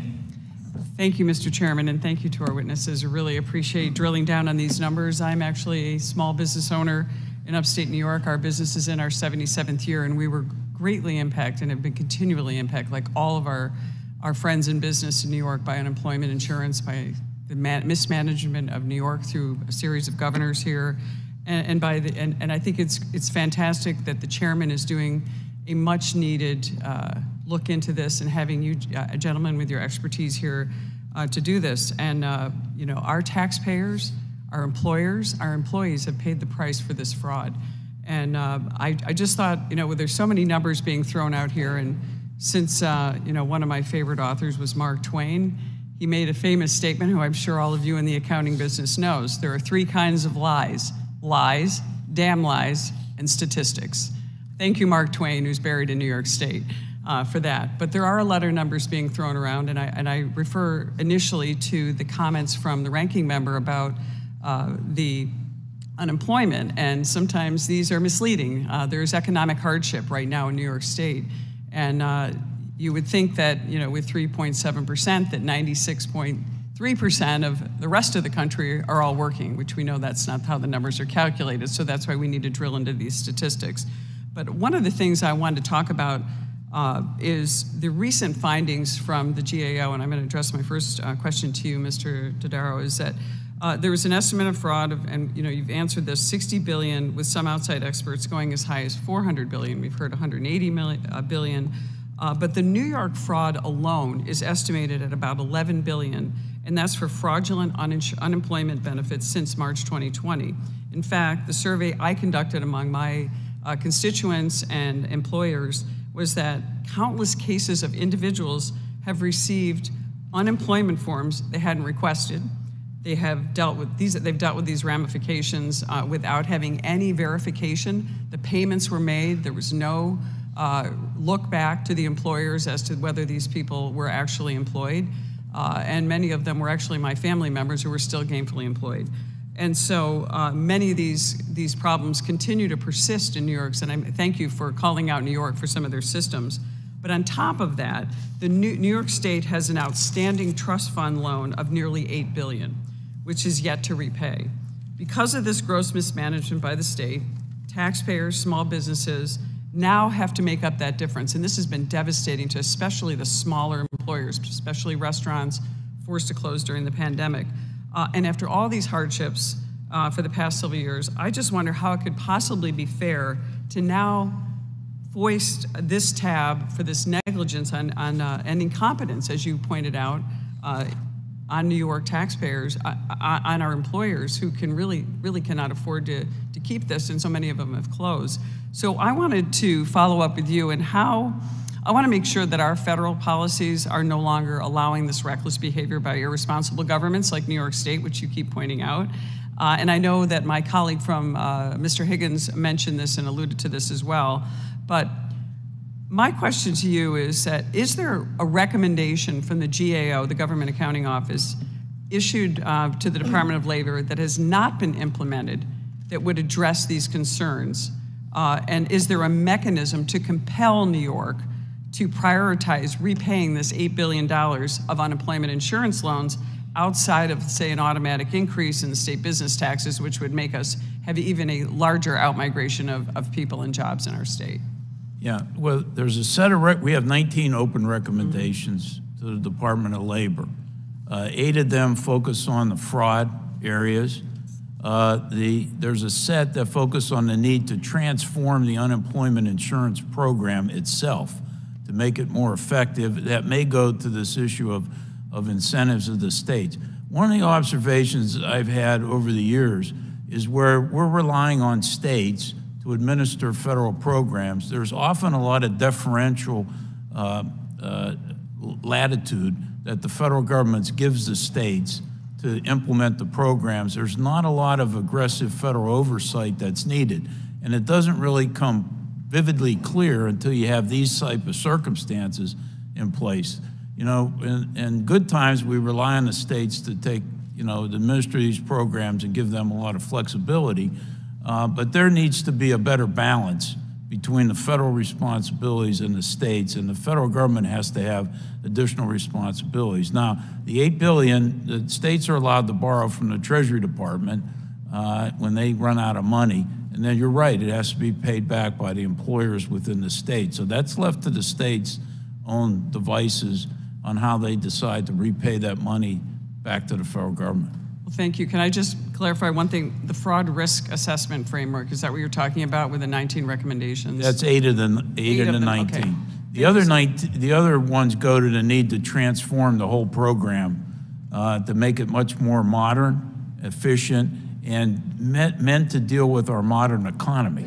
Thank you, and please me- send that message back to the New York State government now to save our employers. We really appreciate that recommendation. It's 13 years ago now since you made that. Thank you. Thank you, Representative. I would like to point out that your favorite uh, author, Mark Twain, is a good Missourian from the Show Me State who wrote his life about the Mississippi in our congressional district. So, love to introduce, uh, recognize the gentleman from Michigan, Mr. Kildee. Thank you, Mr. Chairman, and to our witnesses, thank you for your participation and your service to our uh, country. Uh, as the nation responded to the coronavirus pandemic, workers and families, as we all recall so painfully, stayed home in order to stay safe and to keep their families safe. Many lost their paychecks and their livelihoods virtually overnight through no fault of their own. My home state of Michigan, unemployment rose to 24% in April of 2020, just two months after former President Trump declared the health emergency. In response, uh, ins- uninsur- uh, unemployment insurance claims spiked at over 388,000 per week compared to the previous peak of 77,000 during the Great Recession. That's why, thankfully, Democrats and Republicans jointly acted swiftly to pass bipartisan legislation to get these necessary benefits in the hands of hard-working Americans as soon as they possibly could. Both parties came together to pass and extend these critical benefits through legislation such as the CARES Act. Now, looking at the continued economic growth that our country has had, these benefits did help millions of people, uh, preventing them from losing everything they've worked for and precipitating a larger crisis.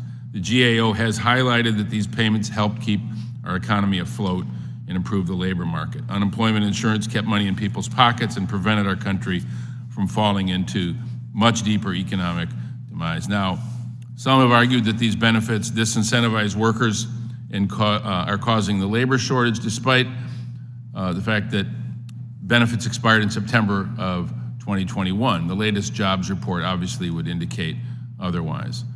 Um, in February of 2023, the Department of Labor reported that unemployment was at 3.4%, the lowest since 1969. And I recognize the distinction when it comes to labor participation rates, but you just have to look at the data and see that labor participation rates are really less than a point off where they were three years ago, uh, at, at what many would have considered to be uh, peak economic activity. Now, uh, the economy grew at 2.9% last quarter, more than 12 million new jobs created in just the last two years. Not only were these benefits good for the economy, they were a lifeline for workers when they most needed it. People were worried about putting food on the table, keeping a roof over their head, paying for basics like medicine. Uh, I would like to just mention, you know, this, these are human stories. I, my, my, own constituents um, benefited from these important benefits, supported again by both sides of the aisle. Kathy and Timothy from Flint told me that the payments were hugely impactful. Timothy was a musician uh, at weddings and festivals and corporate events. Kathy's job in health insurance. Uh, they were able to, um, to provide and care for their oldest daughter as a result of these benefits. Timothy often worked nights to make sure that he did not have to hire a caregiver. Um, these benefits made a difference. People like Carla in Bay City, a self employed cosmetologist, but due to the pandemic, she lost her main source of income. Without these benefits, she would have been in a very difficult position, would have lost everything she's worked for.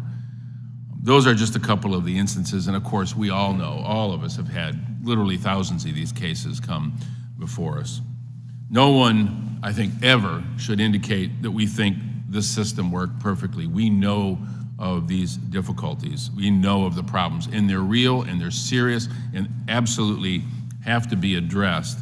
But I do think it's important that we not fall into the trap of somehow conflating the bipartisan decision that we all made to make sure that these benefits were quickly delivered to people at a time when, in order to protect themselves, um, they, they had to stay home. Now, there's a debate in some revisionist history about just how difficult those moments were. We didn't know what the future was going to be. Fast forward, a million Americans died. It would have been millions more had we not allowed people to make the decisions that they needed to do to protect themselves without having to lose everything that they've worked for. So let's pledge that we'll work to fix these problems. Let's pledge that we can come together to try to address these issues of fraud. The money was stolen not just from the taxpayers, but actually from needed help to additional workers.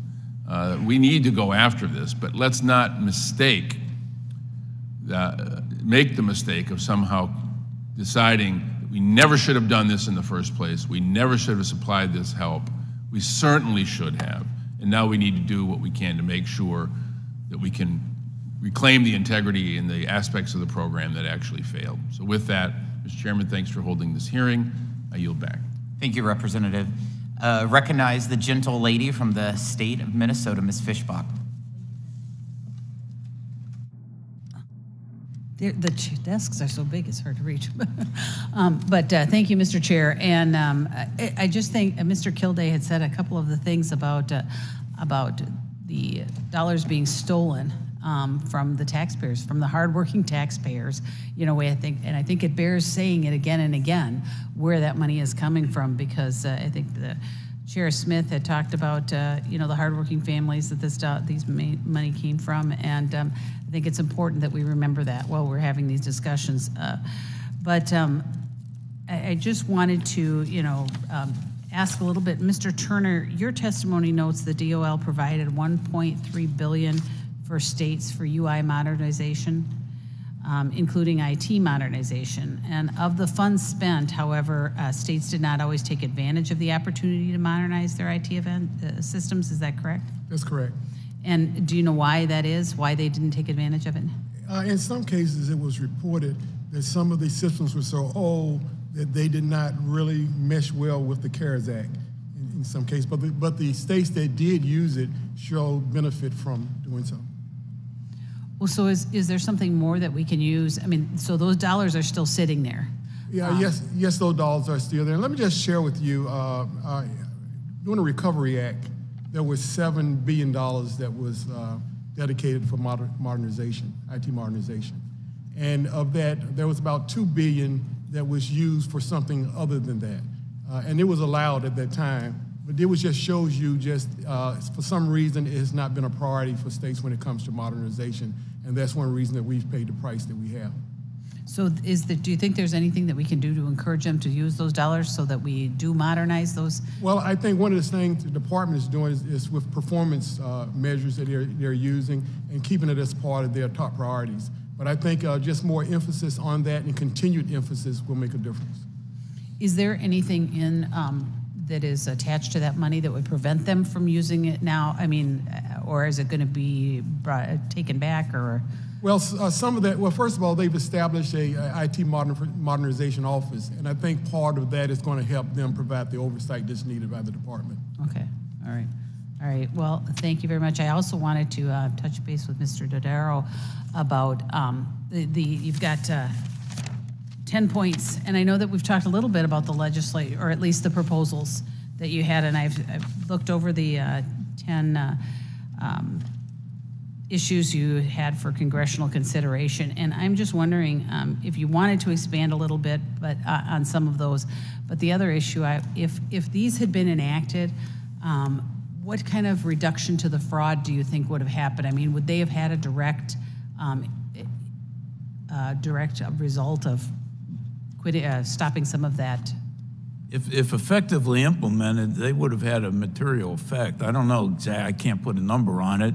But for example, uh, the one recommendation that the uh, improper payment estimate be made in the first year of the program, the PPP program uh, didn't estimate improper payments until 2022. The pandemic unemployment insurance program still hasn't, even though it's ended, it still doesn't have an improper payment estimate. If you had had estimates earlier, you would have been able to take more forceful actions and put things in place and compelled the states to, to focus on those issues earlier. You know, the anti-fraud strategy that we have in place and the uh, uh, Paycheck Protection Program, uh, they didn't designate an anti-fraud dedicated entity until February 2022, when the program was almost uh, finished. They didn't do a fraud risk assessment until 20, well into 21, almost the end of 21. The uh, uh, Labor Department still hasn't implemented the anti-fraud recommendations that we have to them. So a lot of these things would have had a, a good effect had they been put in place. That's why we're urging Congress to pass these legislative improvements. But I would say also uh, to this committee that unless there's sustained leadership attention at the Labor Department and effective working relationships with the states combined, combined with strong congressional oversight, these reforms won't be effectively implemented. Thank you very much. Oh, and Can, Mr. can I add on, on to that? It not only would involve fraud prevention, but you'd have better delivery of service to the people who are entitled to the benefits, more prompt payment, reduction in identity theft. Think about how many people are dealing with identity theft Mm-hmm. issues now as a result. All of those cascade from improving IT modernization, taking the steps that GAO has recommended. Thank you very much. And I have eight seconds, I will, or I went over, so I yield back. Thank you. Thank you, Representative. Uh, Recognize the gentleman from Utah, Mr. Moore. Thank you, Chairman and Ranking Member. Uh, The work here we're doing is very important, and I believe our dialogue, while some differences, um, really has spot, uh, shown a spotlight on, on our, our, our joint concern about fraud, right? And um, I appreciate, more importantly, the witnesses. We've all gotten the chance to get up and take a few meetings and a few breaks for, for, for sticking it out for a very long hearing. So thank you for that. Um, fortunately, so, so, so for some positive here, there are lessons that we can learn from states that have managed this very well. Uh, in Utah, where I, I represent, fraud over payments represented less than 1% of benefits paid. I'm incredibly proud of the work done by our former governor, Gary Herbert, Governor Spencer Cox, their administrations, and the Utah State Legislature to create systems and processes that protect taxpayer dollars. That, that is our most sacred responsibility, I believe, back here in, in, um, in this federal role.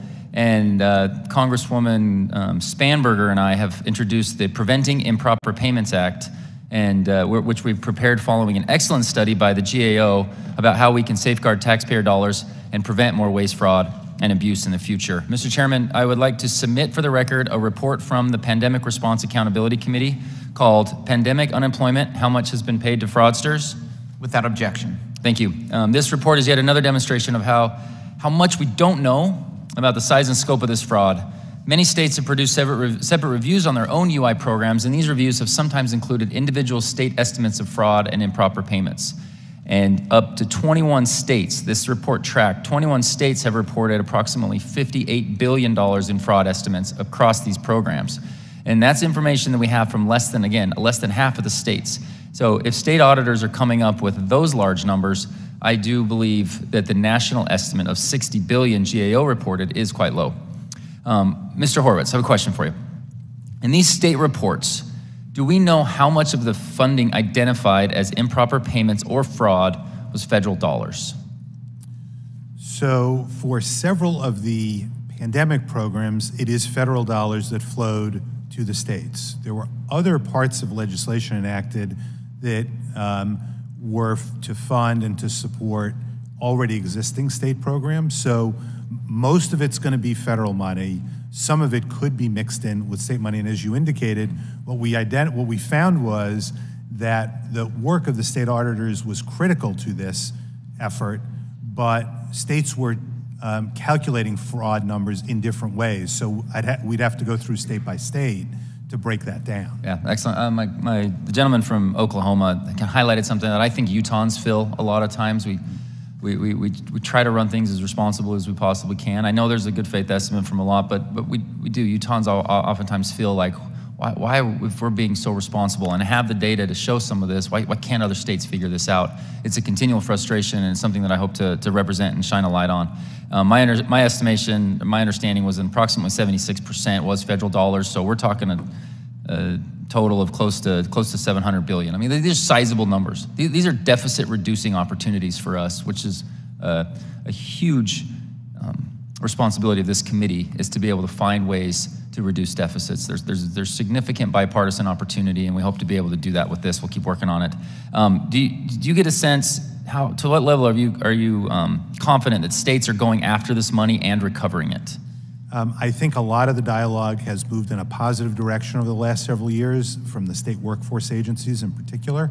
Um, we're seeing a lot more effort to work together, to do the kind of cross-border border work that needs to get done, and interactions with state auditors because they are so central to this process and important. And Department of Labor's role, where would you, where, how would you describe or, or, or, kind of like want to make sure that they, they, they do their role as much as possible? So I'm going to defer to the Great. IG there on that. Please. Uh, repeat the question, please. Just to what to what extent would you would you would you would you put the Department of Labor responsible and involved in making sure that states can can go after and recover as much of these funds as possible? Oh, they are very responsible and involved.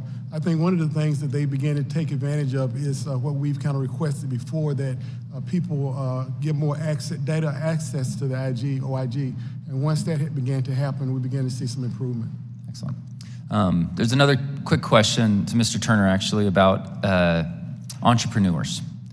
And they were at, at risk of being targeted quite a bit for some of this fraud. And we want to we wanna, we wanna make sure that we're protecting that's, that side of it and, and, and making sure that those that are honest doing, doing the work that they need to do, they have that capability. Is there any measures you recommend to, to help implement, to prevent fraud without penalizing these entrepreneurs? Well, I'll be a little premature in speaking to that now because we actually have work going on to take a look at that. And then I should be able to provide the committee something in the future. The whole point of this is to make sure we do this better, we shine the light, and, and keep working on it. So thank you for your time. Thank you, Representative. Uh, recognize the gentleman from Virginia, Mr. Beyer. Mr. Chairman, thank you very much, and thank you for holding this hearing. Thank you for hanging in there. Uh, I'm so glad that we're holding a hearing on the unemployment system which has long been neglected and underfunded by federal and state policymakers. I can tell you that, like many of the colleagues here, at the height of the pandemic, um, that's all we did was chase down unemployment insurance claims. I think, you know, and every story was distressing. Everyone was grimly similar that that the enhanced UI payments were literally the only thing that allowed ordinary Americans who lost their work through no fault of their own to pay their bills, to buy groceries, to support their families. Um, we had myriad constituent cases, I think well over a thousand just in the first couple of months, that, that we were wrestling in Virginia with an antiquated and overburdened state employment commission. And it just emphasized to me how important it was to have a program like this in a time of crisis. Uh, at the time, I was chairman of the Joint Economic Committee, uh, bipartisan, bicameral, um, a great honor. And one of the things we did was talk to the smartest economists across the board, Democrat, Republican, you know, conservative, liberal, uh, about what to do. And everyone started with the unemployment insurance system and the enhanced unemployment. It became really clear that this work um, was essential to the recovery. You know, you heard you showed through many different witnesses that no other country in the world has recovered as quickly from the pandemic economically as have we, with still a ways to go. UI kept millions of Americans out of poverty, it saved countless jobs, and prevented home foreclosures, which obviously destroyed us in 2008, 2009, and has set the stage for this historically low unemployment, 54 years, steady GDP growth, and uh, although there's still a ways to go, slowing inflation. Every Thursday at 5 o'clock, um, the governor of Virginia held a conference call with all the Democratic and Republican members of the Virginia delegation. So Morgan Griffith from Southwest Virginia to, to Tim Kaine. And we each got our three or four minutes with the governor, and virtually every conversation was about the broken UI system. And he would have to explain that in Richmond, it, the software was from 1980, the um, codes were nobody knew anymore, and the hardware was from 1980 and that they were doing the best they could with, but they had not, you know, in January of 2020, they hadn't expected the incredible deluge that they had. So one, right away, we tried to go to, to work and say, look, let's, um, as we're handing money out, let's make sure that we're giving a lot of money to the states, Democratic and Republican-led states, to invest in the UI system so that if this ever happens again, um, we, we, can be ready. So, so Mr. Turner, um, softball question. Would investing in highly trained state UI staff and better computer systems help prevent the fraud that we were talking about today and ensure that the benefits are paid on time? Uh, no doubt about it. Uh, that's something that we've included in our recommendations in the past. That's a very short answer. Thank you. That's about the shortest I've heard in my four years on Ways and Means. Um, Mr. Horowitz, a similar question. Um, and you mentioned that multiple states experienced issues verifying eligibility for benefits. That was a huge one for us. People would be ruled ineligible, and it would take them weeks or months to be able to prove their eligibility, um, and long delays because of that. One of the things we provided in the American Rescue Plan, which half of us like, was upgrading antiquated state UI computer systems. How important is that investment for, for the fraud that we're talking about? Um, it's critical. Uh, the states, as you indicated, the, the situation with Virginia, it's not alone. It's a problem across the country. States need to upgrade their IT systems. They're, they're, we have moved um, light years in just the last several years on the ability to do verification, identity verification. And so systems has to, have to catch up. Great, great. Well, I, I, still have a minute left, which I will yield back. And I want to thank you for showing up and for helping us uh, get our hands around this, balancing both the need to preserve every possible taxpayer dollar from from fraud, but also making sure that we are supporting the American citizens who look to us. Mr. Chairman, I yield back. Thank you, Representative. Recognize the gentle lady from the state of California, Ms. Steel. Thank you, Mr. Chairman, and I want to thank the witnesses for being here today and all, for all the work you have done to shine a spotlight on these important issues. Today's hearing is about fraud. And this lost funds actually came from hardworking taxpayers, and it should not happen again. Last Congress, I led an effort to recover funds, prevent fraud, and support the victims on, of unemployment fraud identity theft. Along with Speaker McCarthy, I introduced the Pandemic Unemployment Assistance Fraud Protection Act, my bill would create an incentive structure to encourage states to recover fraudulent unemployment payments, require states to revamp and improve fraud prevention efforts in the unemployment program, and include necessary protection for victims, those innocent taxpayers who receive 1099-K without receiving these employment payments of unemployment benefits fraud my constituents, Californians, and Americans who actually need unemployment assistance should be the ones who receive it, not criminals. California was one of the biggest targets for this fraud. The state of California legislative Analysis Office reported that $18.7 billion, 94% of unemployment insurance benefit fraud may have occurred in the federally funded unemployment program. An estimated $20 billion in potentially fraudulent unemployment payments are still under investigation. Mr. Chairman, I would like to submit for the record for a report by California State Auditor issued in January 2021. Without objection. This report found significant weaknesses in the Employment Development Department's approach to fraud prevention, which led to billions of dollars in improper benefit payments.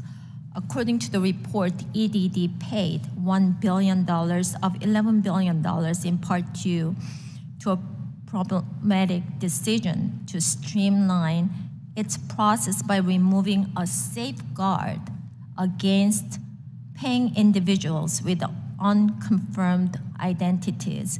EDD, which was led by current Department of Labor Deputy Secretary Julie Su, issued the payments to those claimants with unconfirmed identities before discovering it had removed the safeguards for more than a four months period. And believe it or not, she was just named as an acting secretary of Department of Labor, somebody who messed up in California EDD programs. California made it easy for fraudsters access benefits and that had devastating consequences for my constituents. We should all be on the side of good governance and protection of taxpayer money and the billions in fraud paid out over the last two years is an embarrassment.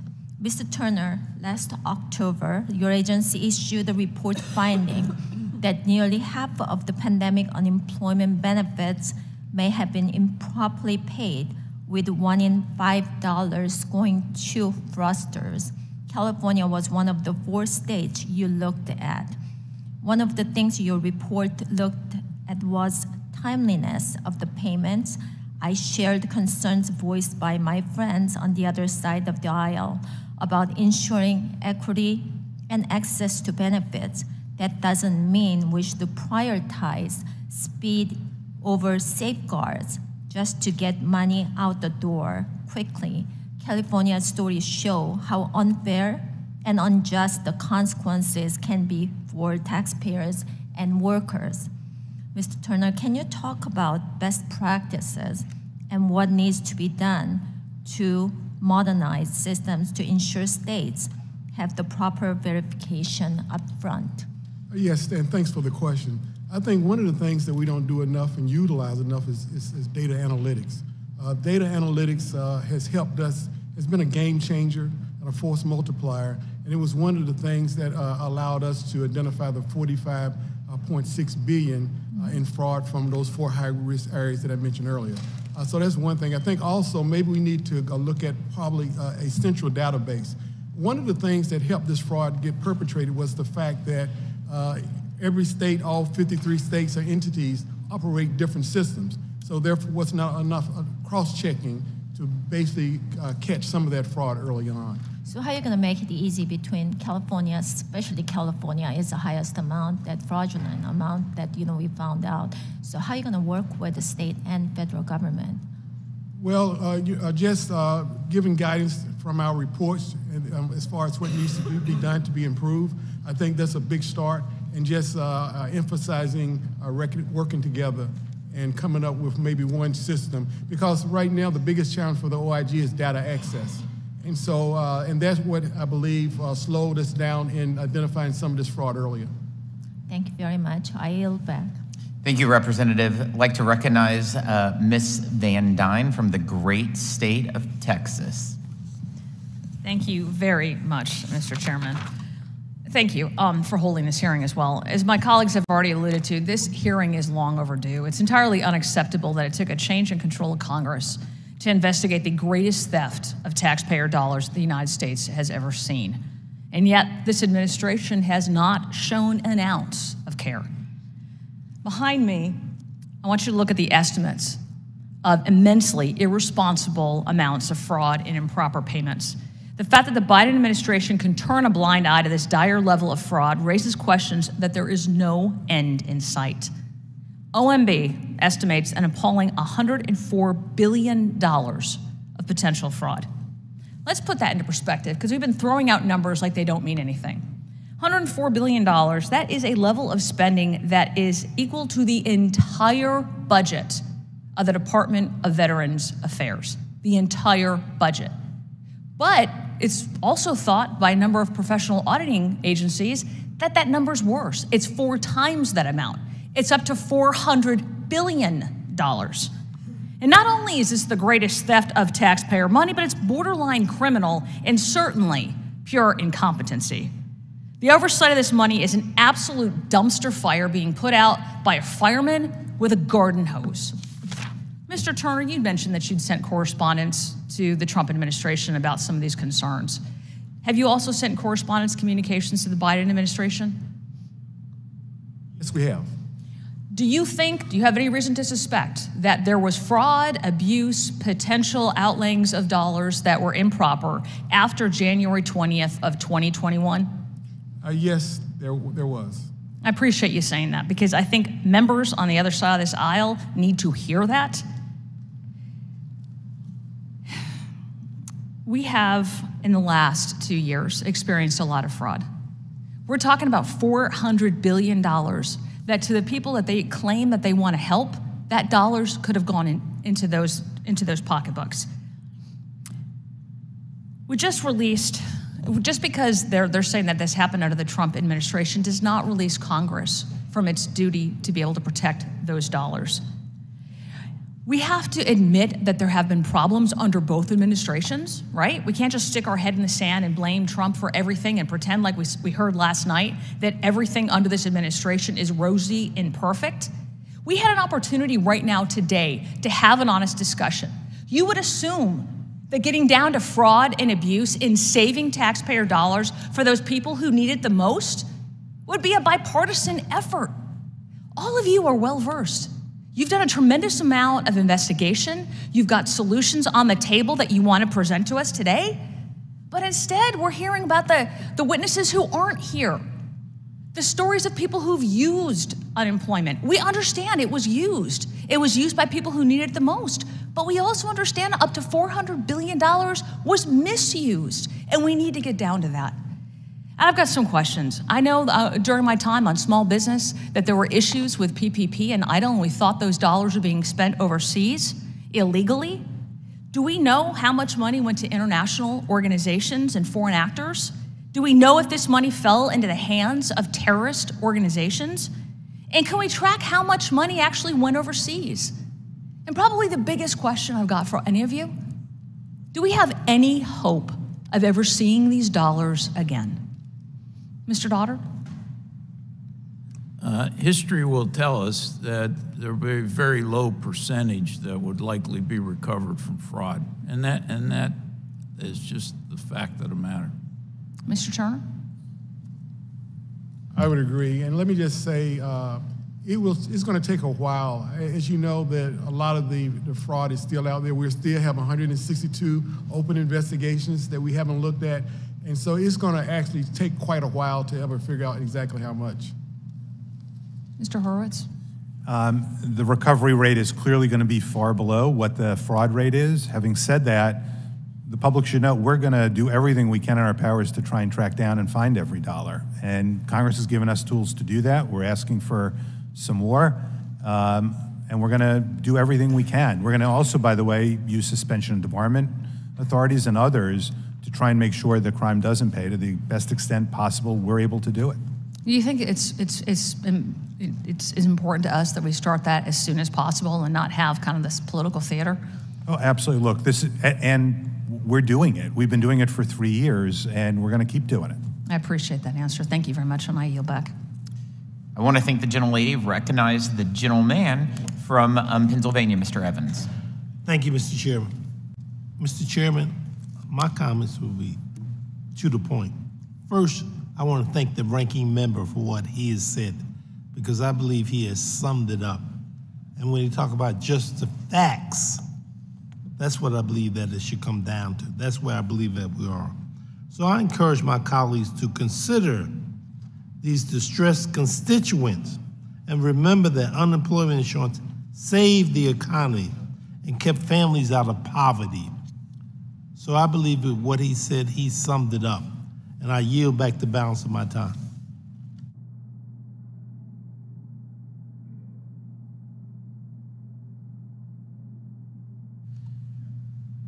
Thank you. Thank you, gentlemen.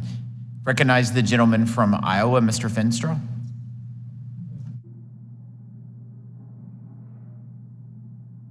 Thank you, uh, Mr. Chairman Smith. Uh, thank you also uh, to each of our witnesses for your testimony. I greatly appreciate it. Obviously, we've talked about, you know, what has happened at the height of the pandemic with 15.4% uh, unemployment, 23 million people unemployed. Uh, the circumstances obviously demanded a, a, a resolution, and, and, we did that. But with that, created risk, and now we are responsible. We're responsible for oversight of the risk that incurred in giving these unemployment benefits. Uh, what's interesting to me is uh, that we never had oversight or never had hearings in the 117th Congress, despite the warnings that were noted last March from the Department of Labor that we had $163 billion of improper payments. So I am grateful, I'm very grateful, and thank Chairman Smith for holding this hearing. And I also want to thank you again as witnesses uh, for doing so and being part of this.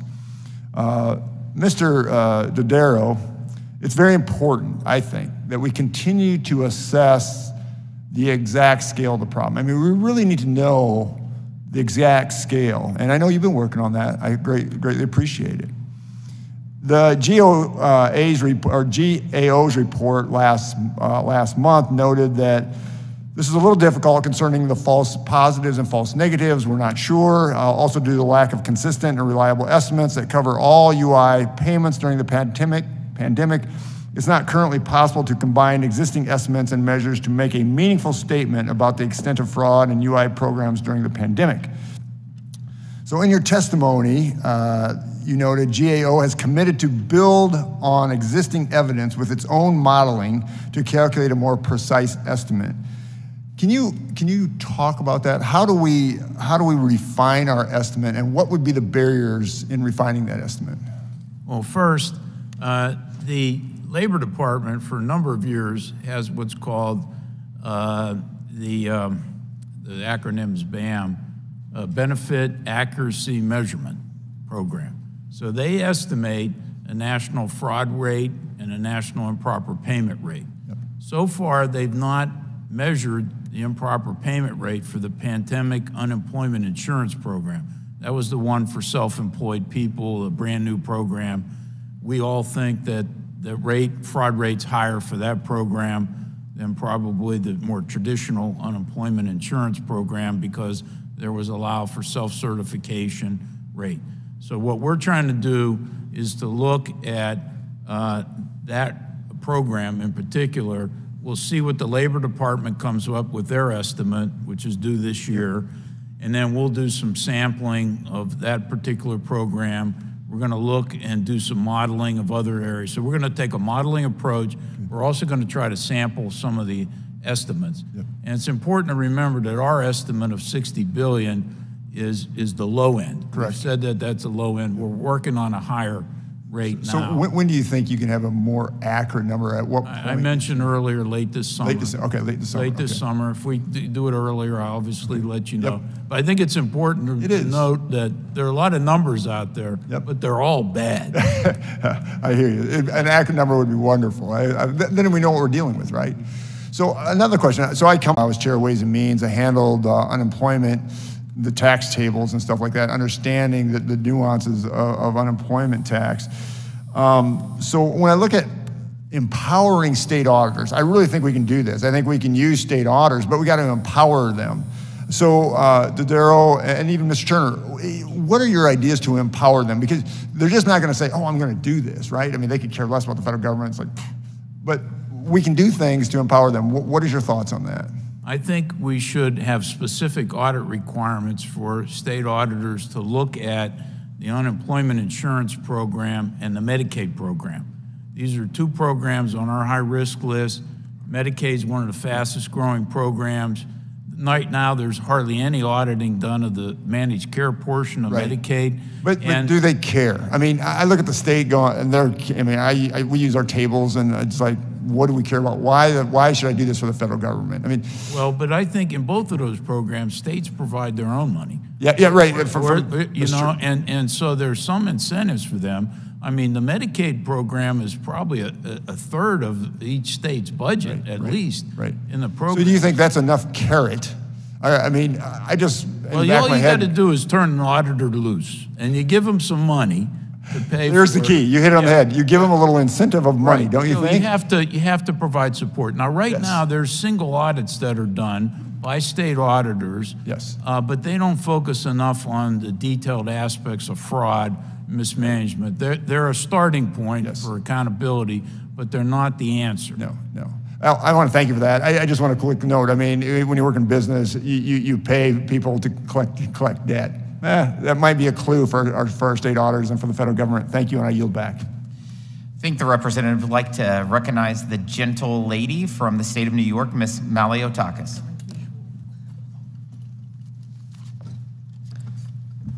Thank you very much. Um, thank you so much for your testimony. Uh, it was very informative. And we've heard today of the massive figures of improper unemployment payments, many fraudulent, which could be as high as $400 billion, some of which could have been prevented if we had put in the proper guardrails in place, in, particularly in the last 1.9 uh, trillion American Rescue Plan that the Democrats jammed through. Um, my home state of New York, unfortunately, but not surprisingly, ranks near the top of the list with an estimated $11 billion in fraudulent unemployment payments, I mean, pay- payments alone. These taxpayer dollars went to fraudsters, many uh, who are from overseas, as far away as China and Russia and Nigeria, uh, who bought luxury cars, condos, watches, designer goods. As you could see, I made a nice graph here because we haven't talked about that today. It's shocking to my constituents when we tell them that this pandemic relief money shamefully went to purchase 18 karat Rolex watches, luxury condominiums, Louis Vuitton, uh, and, and other designer goods, a $10 million villa in the Dominican Republic, $3.5 million mansion in New Jersey, chartered jet services, luxury vehicles from Porsches to Mercedes Benz to Ferraris uh, to Bentleys. Um, one person even received $1.5 million over a span in 10 months. This is absolutely unacceptable, and I'm glad to hear today that there's bipartisan support to crack down on this, and we must do what we can to recoup this money. Uh, but to make matters worse, my district offices in Staten Island and Brooklyn worked with dozens of constituents who have had their identities stolen and could not get the unemployment benefits that they desperately needed. Um, because the Department of Labor in New York failed to prevent fraud at the outset of the pandemic, the Unemployment Insurance Trust Fund was drained. And for the last two years, the state has had an outstanding loan to the tune of $8 billion from the federal government. My colleague uh, mentioned this earlier. I'm concerned that New York small business is going to be left holding the bag. And my question, uh, if you can clarify, if New York continues to fail to repay its federal advance due to its failure to limit this fraud, uh, will their per worker tax keep increasing year after year, and by how much?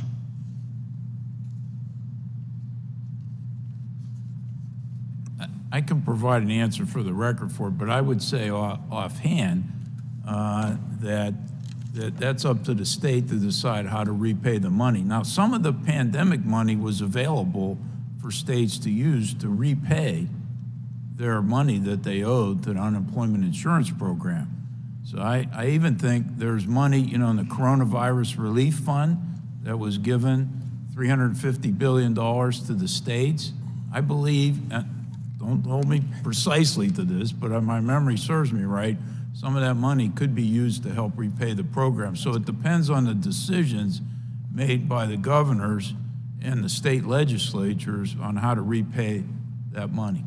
Well, that's a good point, and it's about $100 billion that is unspent in COVID relief funds, so perhaps uh, the federal government can take action there. Uh, which states did, did it right? Okay, New York obviously did it wrong. Uh, my colleague talked about his state of Utah, uh, that they had good preventive measures in place. What states, Mr. Horowitz, do you think are model states that we should be looking at on how to prevent this type of fraud? Um, what, what, we've seen are evolving actions by the states over the last several years. Um, and so, what I want to do is get back to you on sort of which ones perhaps are leading the effort. There are several, though, as part of the National Association of State Workforce Agencies that have come together to, for example, implement um, uh, identification verification, identity verification tools Mhm. um, that have been very important because you mentioned identity theft. Mm. We at the PRAC often talk about identity theft creating three victims.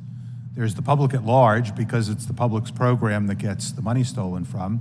There's obviously the person whose identity is stolen who has credit issues, other issues they've got to deal with. But then there's the person, as you mentioned, who is the intended beneficiary. And we've heard testimony about individuals, as you said, who went to get benefits, whether it's from unemployment insurance or other programs, and were turned down because the agencies thought they were the fraudsters. No, the I appreciate fraudster that. beat them there. And I, appre- uh, I want to, just 20 seconds left with, on that point, Mr. Dodaro, your testimony notes that of uh, October 2022, there have been 41 states using the identity verification service that provides new um, data sets to conduct enhanced unemployment claimant identity verification, as was discussed here, and contains cross-matching with uh, Social Security, uh, the Death Master file, to identify the use of deceased persons. Um, Can you please talk about that? Why are and should all states be using this service, number one? And do we have an estimate of how many dead people received unemployment benefits? I- don't know if Mr. Horowitz knows that or, or Mr. Turner, but I, I don't have the estimate for the total number. But I do know that it's an appropriate cross-match to make. You know, one of the easiest targets for fraudsters is to get a social security number from a deceased individual. A lot of this information, as Mr. Turner mentioned earlier, is on the dark web, and they can do that. I, I know my own mother received, uh, she passed away unfortunately right before the pandemic, so she received an economic incentive payment from the Treasury Department. Now, my sister returned it because she called me and said, What to do? I said, Send it back. Uh, and, and so, um, you know, tr- Treasury, th- this is a problem with the federal government too. Treasury sent $1.4 billion to an estimated 1.2 deceased individuals in economic incentive programs. Now, due to our recommendation, I got about half of that back, so about $700 million. The, the, right now, the Treasury Department Fiscal Service is not allowed, is not allowed to use the Social Security full death master file to check before they make a federal payment. Now, that's something I've been trying to get for years. Congress finally passed it. It's due to take effect next year around this time, but I think it should be expedited and made permanent on a basis. I mean, there's no reason that we should be doing this. Uh, Yes, if I could add, uh, on that, uh, the deaf, uh, social security numbers of deaf individuals, uh, we do have that available. I don't have it broken down for me right now, but we can provide to you, that to you at a later time, after, after the.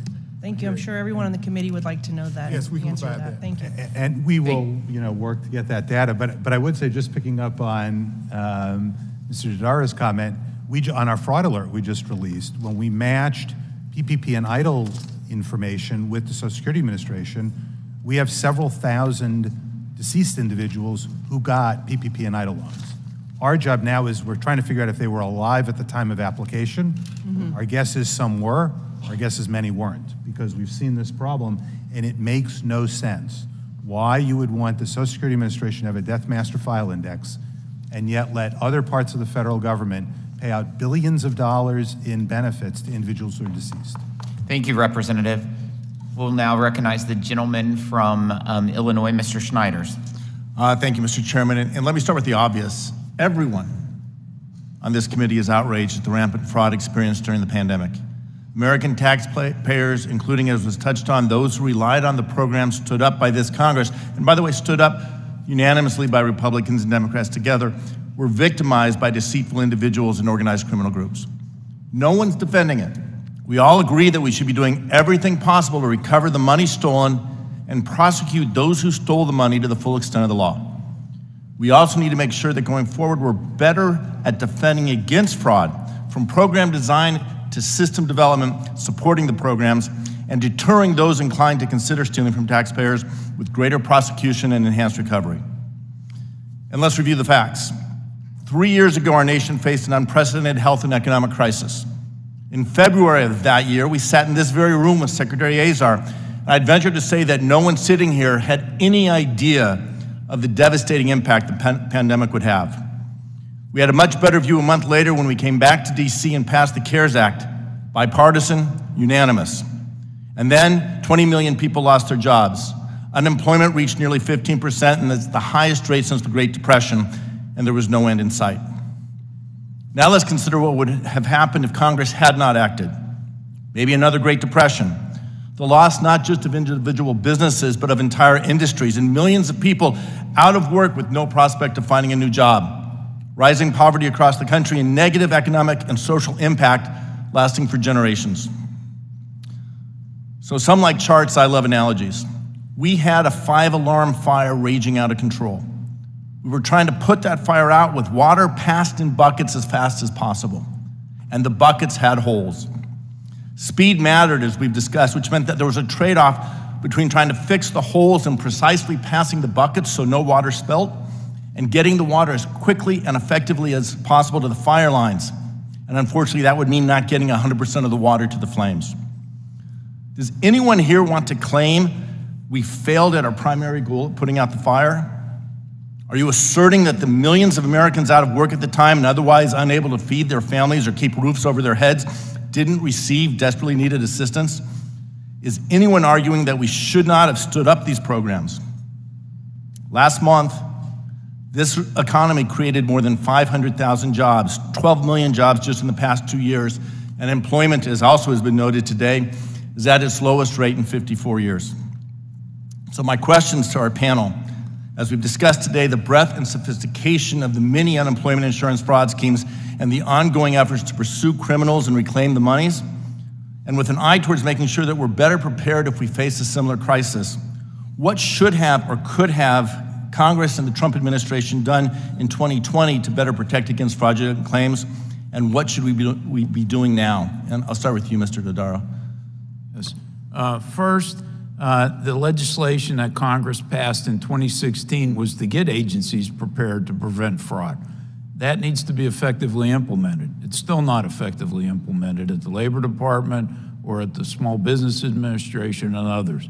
So we're slightly better prepared than we were before, but we're not fully prepared for the next emergency.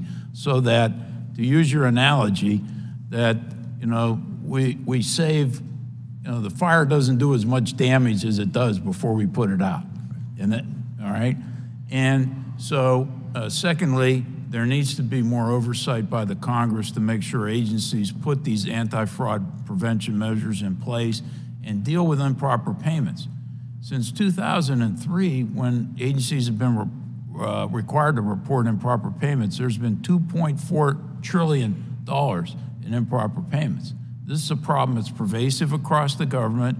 It, last year, 86 programs, 16 different agencies. More attention needs to be put on these two matters. Great, thank you, Mr. Turner. For us, I would say data access. Had Labor OIG had data access from the start, instead of having to wait five or six months to get it, we would have been able to move out and identify some of these issues a lot earlier. So for us, that would be the key. And although the department has gotten better with that, uh, they are assisting us, but it's temporary solution that we have in, in, in, a, in, pla- in, a, in place right now. And so we hope uh, that we can get something more permanent, but we would hate to resort back to uh, uh, ID subpoenas. Mr. Horowitz. Um, IT modernization, um, what uh, Mr. Dodaro said on that. Um, transparency, greater transparency into data. Um, Justice Brandeis famously said, sunlight is the best of disinfectants. Get that information out. We need it. The IG needs it. Um, and third, data analytics, ability to cross-match data. One person shouldn't be able to take their social security number to 40 plus states to get benefits. Thank you. And if I can quote my friend, Mr. Kelly, we shouldn't be pointing fingers. Let's find a way to work together, solve this problem, make sure we don't face a crisis like this again. I yield back. Thank you, Representative. want to highlight again the purpose of this hearing um, is to investigate the size and scope of fraud in the federal unemployment program, which more than doubled in the last few years um, during the pandemic. The purpose is to investigate fraud. Uh, I'd like to introduce, uh, the, recognize the gentleman from Ohio, Mr. Carey. Thank you, Mr. Chairman, and, and I want to thank the witnesses for your time uh, and your patience with, with all the questions you're getting asked. We highlighted, I think, throughout uh, today the importance that state auditors have in, um, across, the, across the country. To that end, um, Keith Faber, who is our state auditor, actually issued a, a report, um, and in it, in that, which I will be and eventually uh, putting it to the record, Ohio estimated is estimated, estimated to have paid over a billion in fraudulent, un, fraudulent unemployment benefits from March 2020 to 2022. And I think my colleague from Ohio highlighted the fact that both our governor, our lieutenant governor, and our governor's wife each received the, the, the fraudulent claims. Um, the other thing that the auditor's report identified, which I found interesting, was it identified over 475 million was actually paid to criminals. So, Mr. Chairman, without objection, I'd like to submit this for the record. Without objection.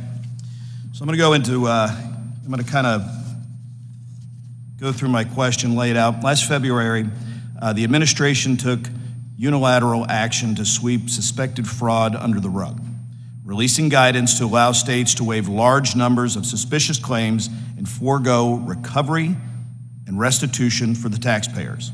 Then in March, DOL reported that the states identified 35.1 billion in overpayments made in the UI programs during the first 7 quarters of the pandemic.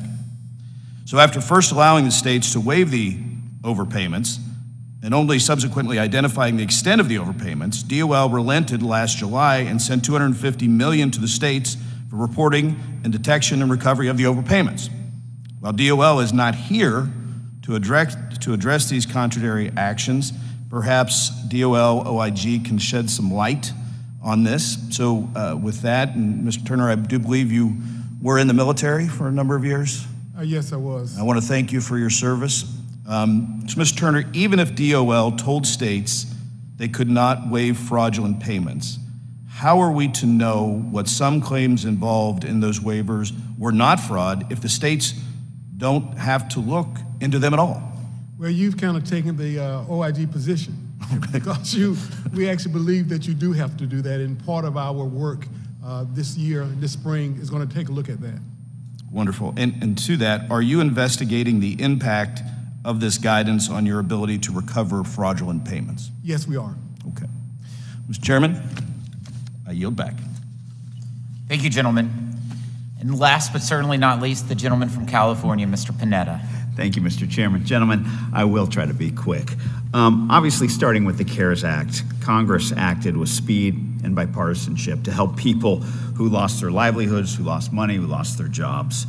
We provided billions for unemployment insurance that worked, that helped people, that actually prevented hardship for millions, including in my district, the 19th Congressional in California. Now, unfortunately, as we've heard over and over, and as we know well, there was fraud. And as a former prosecutor, I'm well aware of people who try to pull, one's, oh, pull one over on the federal government and on the government. And yes, we should hold them accountable to the fullest extent of the law, as we've been hearing throughout today's hearing. But now, as a federal representative, I get to look forward. And basically, we get to create laws or provide funding to help eliminate, to help prevent fraud. That's why, through the American Rescue Plan, we in Congress provided that type of significant funding for oversight and improvements for our unemployment insurance systems. Now, Mr. Horowitz, earlier I think you mentioned, you know, that's exactly what we're doing and have been doing right now. And so my question to you is, did that funding help crack down on fraud during the pandemic? And will it help states in the future protect from fraud? So the funding did help states make a start in this effort. Um, I think there's more that needs to be done, as GAO has reported on and DOL OIG has reported on. Um, but the extent to which you modernize and improve the systems, you not only reduce the rate of fraud, but you improve the benefit, you, you improve the delivery of benefits that people are entitled to get the benefits. Do you have any examples of states that are modernizing uh, with this funding their unemployment systems? And are there any lessons learned looking at any particular states? There- There are multiple states actually that are moving forward, so I'm not going to single any out, but they're working through their national association to do that. Um, and I, would say the key um, movement forward is modernizing their systems and taking steps to do identity verification. So there's a, a variety of tools being tested in, in among the states, um, but th- that to to me, from what I've seen so far, not just by the way with unemployment insurance, with SBA as well, and, and other federal programs, the need to put in place identity verification. Understood. And then um, just let me throw this out there. Would it help if there was a national standard for unemployment systems when it comes to maybe, and I think you guys have mentioned this, technology, data gathering, or in order to help states set up systems for employing unemployment insurances? You know, I, I think that is an excellent question, Congressman, and a key question for Congress. And because we have largely built a unemployment insurance system that's that's managed effectively at the state level, 54 entities, the 50 states, DC, and, and territories. Um, and the question is, how much do you want to centralize it? How much do you want to give authority to the Labor Department to manage those systems? I know GAO has written on that and spoken about that as well. It's, it's a policy question, um, really, for the Congress to consider. Mr. Dodaro? I, I think it would be a good idea to have some na- minimum national standards. You don't want to hamstring the states from being innovative and trying different approaches because that could be beneficial. But you have to have some minimum standards that are in place, particularly for IT systems, particularly if you want those systems to be able to talk one another and to have be able to cross match. As we've been pointed out this morning, if somebody files a claim, uh, you know, in one state, they can file in all the other states and nobody would know the difference because there's no way to cross compare. There ought to be cross comparisons against incarcerated people as well. Uh, there's a system that's kept for that as well. Uh, unless there's standards, uh, you're not ever going to have the optimum IT systems network nationally to deal with a global problem like we had before. Great. Mr. Turner, anything on a national, uh, an, uh, a national standard? Only thing that I could say to add is that I think there need to be a, some kind of central database that the OIG has direct access to as well as the department and the states. Great. Great. Thank you, gentlemen. Mr. Chairman, I yield back. Thank you.